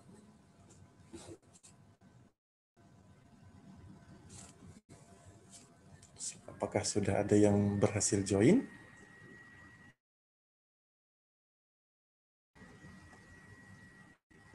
Wah, nggak bisa ini cara memasukkannya gimana ini? Bisa? Belum?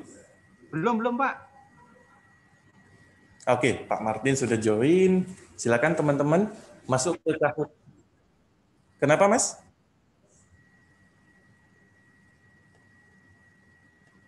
Oke, Esther, oke, sudah ada sembilan. Ayo, kita berkompetisi memenangkan hadiah. Jadi jika sudah bergabung, akan kelihatan tuh eh, namanya di layar ini dan di handphone Bapak dan Ibu juga bisa terlihat. Oke, kita tunggu 5 4 menit ya. Ini ada 118, sudah 21 orang. Hadiahnya apaan, Farhan? Apa tuh? Hadiahnya apa? iPhone. Hadiahnya Mas ada berupa tumbler, Mas Farhan. ada berupa notebook ya. Hadiahnya ada tumbler, payung cantik, notebook, terus sikat gigi dan obat kumur. Itu semuanya persembahan dari klinik Dijen Migas dan Dijen Migas. Beda dong, Mas. Oke, sudah 26. Hadiahnya artinya Ya. sepeda dong. Pak, izin Pak. Izin. Belum ada sponsor, Pak. Eh, gim- gimana Mas? Mau lobet HP. Izin Pak. Aduh, suaranya. Tidur duluan. HP-nya udah. Nggak bisa masuk kok. Oke, sudah 31. Ayo, Bapak dan Ibu, kita akan segera mulai. Tiga menit lagi saya tunggu. Sudah 32 ikut kuis. Ini cuma lima pertanyaan. Nanti kita ambil tiga pemenang terbaik. Nanti pemenang mohon dapat menghubungi Ibu Ida. Ibu Ida di Jenigas eh, untuk konfirmasi pengambilan hadiah. Apabila Bapak dan Ibu jauh, tidak di Jakarta, mungkin nanti bisa kirim alamatnya untuk kita kirimkan ke alamat Bapak dan Ibu. Nah, yang menggunakan HP, eh, agar eh, layarnya itu jangan eh, gelap dalam waktu yang cukup singkat. Jadi ketika pertanyaan sedang dibacakan, menunggu 20 detik untuk jawaban, takutnya belum sempat dijawab, tapi layar sudah mati. Jadi tolong disetting dulu agar layarnya meredup dalam waktu yang cukup lama. Oke, kita tunggu dua menit lagi. Sudah ada 39 peserta. Pertanyaan tidak sulit, pertanyaan sangat gampang. Ada di slide dari paparan narasumber tadi dan juga pengetahuan-pengetahuan umum mengenai COVID-19 ini. Izin gugur duluan Pak. Apa tuh? Minta kalar gu- gugur duluan. Gugur, kenapa? Ini mau lobet. Waduh, harusnya segi Aduh, kasihan. dicas. Memang kita selalu siap sedia ya Pak ya, agar handphonenya harus senantiasa dicas atau bawa power bank. Oke, kita tunggu satu menit lagi. Nanti sambil eh, mengingatkan kembali eh, materi, jadi kalau bisa daftar hadir yang tadi sudah di-share agar diisi, jadi nanti saya tinggal kirim otomatis melalui eh, Google Form ini, Google Form add-on. Jadi tinggal terkirim otomatis ke semua email yang ada di daftar hadir peserta. Kemudian untuk video recording nanti eh, mungkin akan ada diedit sedikit, jadi tapi nanti bisa dilihat di akun YouTube Halo Migas di Migas. Oke, kita tunggu 30 detik. Mikirin akhir alimu dan Ali Sufyan.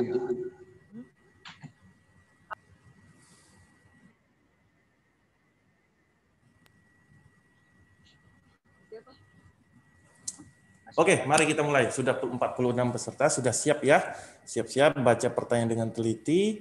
Eh, Kita mulai pertanyaan yang pertama. Kuis kedua bincang kecahan di Migas. Hati-hati dengan pertanyaannya, jawab dengan tepat dan cepat. Pertanyaan pertama. COVID-19 merupakan singkatan dari apakah coronavirus Indonesia, coronavirus disinfektan, coronavirus disease, atau corona international virus disease. 7 detik lagi, sudah 25 yang menjawab.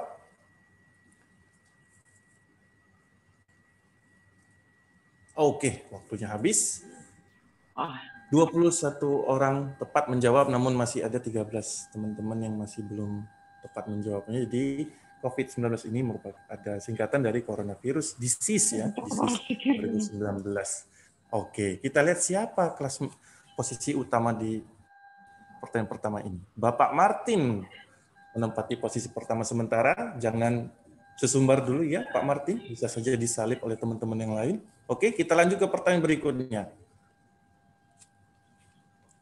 Tes cepat COVID-19 yang dilakukan dengan mengambil sampel darah disebut sebagai apakah?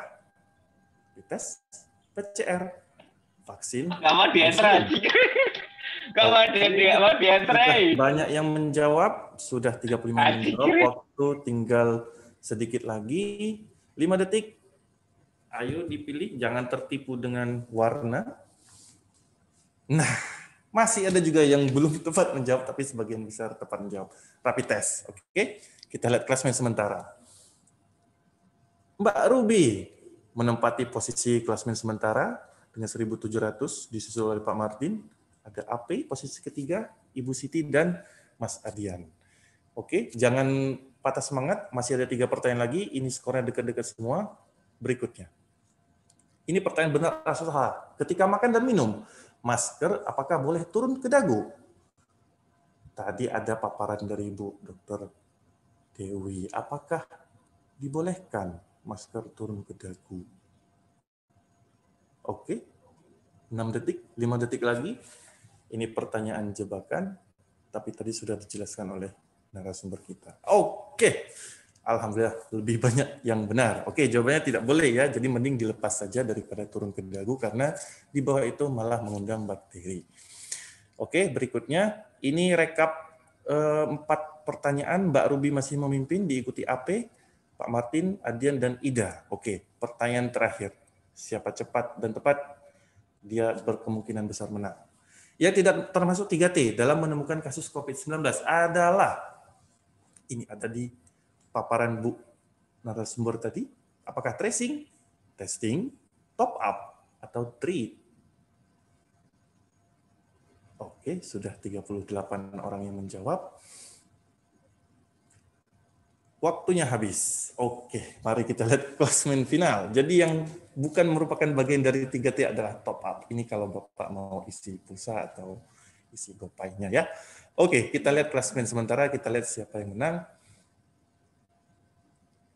Mbak Ruby masih memimpin 3.600, AP, Martina Sugian, dan Siti Ramadia. Ini pertanyaan terakhir. Vaksin COVID-19 yang ideal di Indonesia, kecuali, ini ciri-ciri vaksin yang tadi disampaikan dari Bu Dokter, apakah dia harus efektif, apakah dia harus aman, apakah dia wajib super mahal, atau dia harus halal.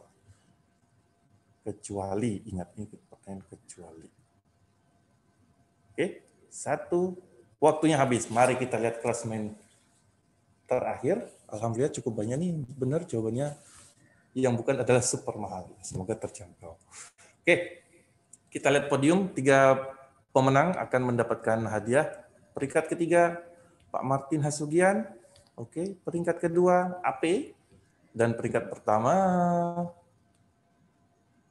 Mbak Ruby. Oke, selamat kepada Mbak Ruby, Pak Martin, dan AP. Tapi tolong AP ini nanti dikabari ya. Ini AP siapa namanya AP ini? Untuk kita share hadiahnya. Oke, baiklah Bapak dan Ibu, eh, demikianlah eh, acara bincang kesehatan di Migas pada hari ini. Kami dari eh, klinik di Migas dan para agen perubahan serta seluruh panitia penyelenggara mengucapkan terima kasih atas perhatian Bapak dan Ibu semua. Mohon maaf apabila ada kekurangan. Ingat selalu pesan Ibu, terapkan 3M kapan pun dan di mana pun. Memakai masker, menjaga jarak dan hindari kerumunan, dan mencuci tangan pakai sabun. Ingat 3M. Saya Farhan undur diri. Wassalamualaikum warahmatullahi wabarakatuh. Waalaikumsalam. Setiap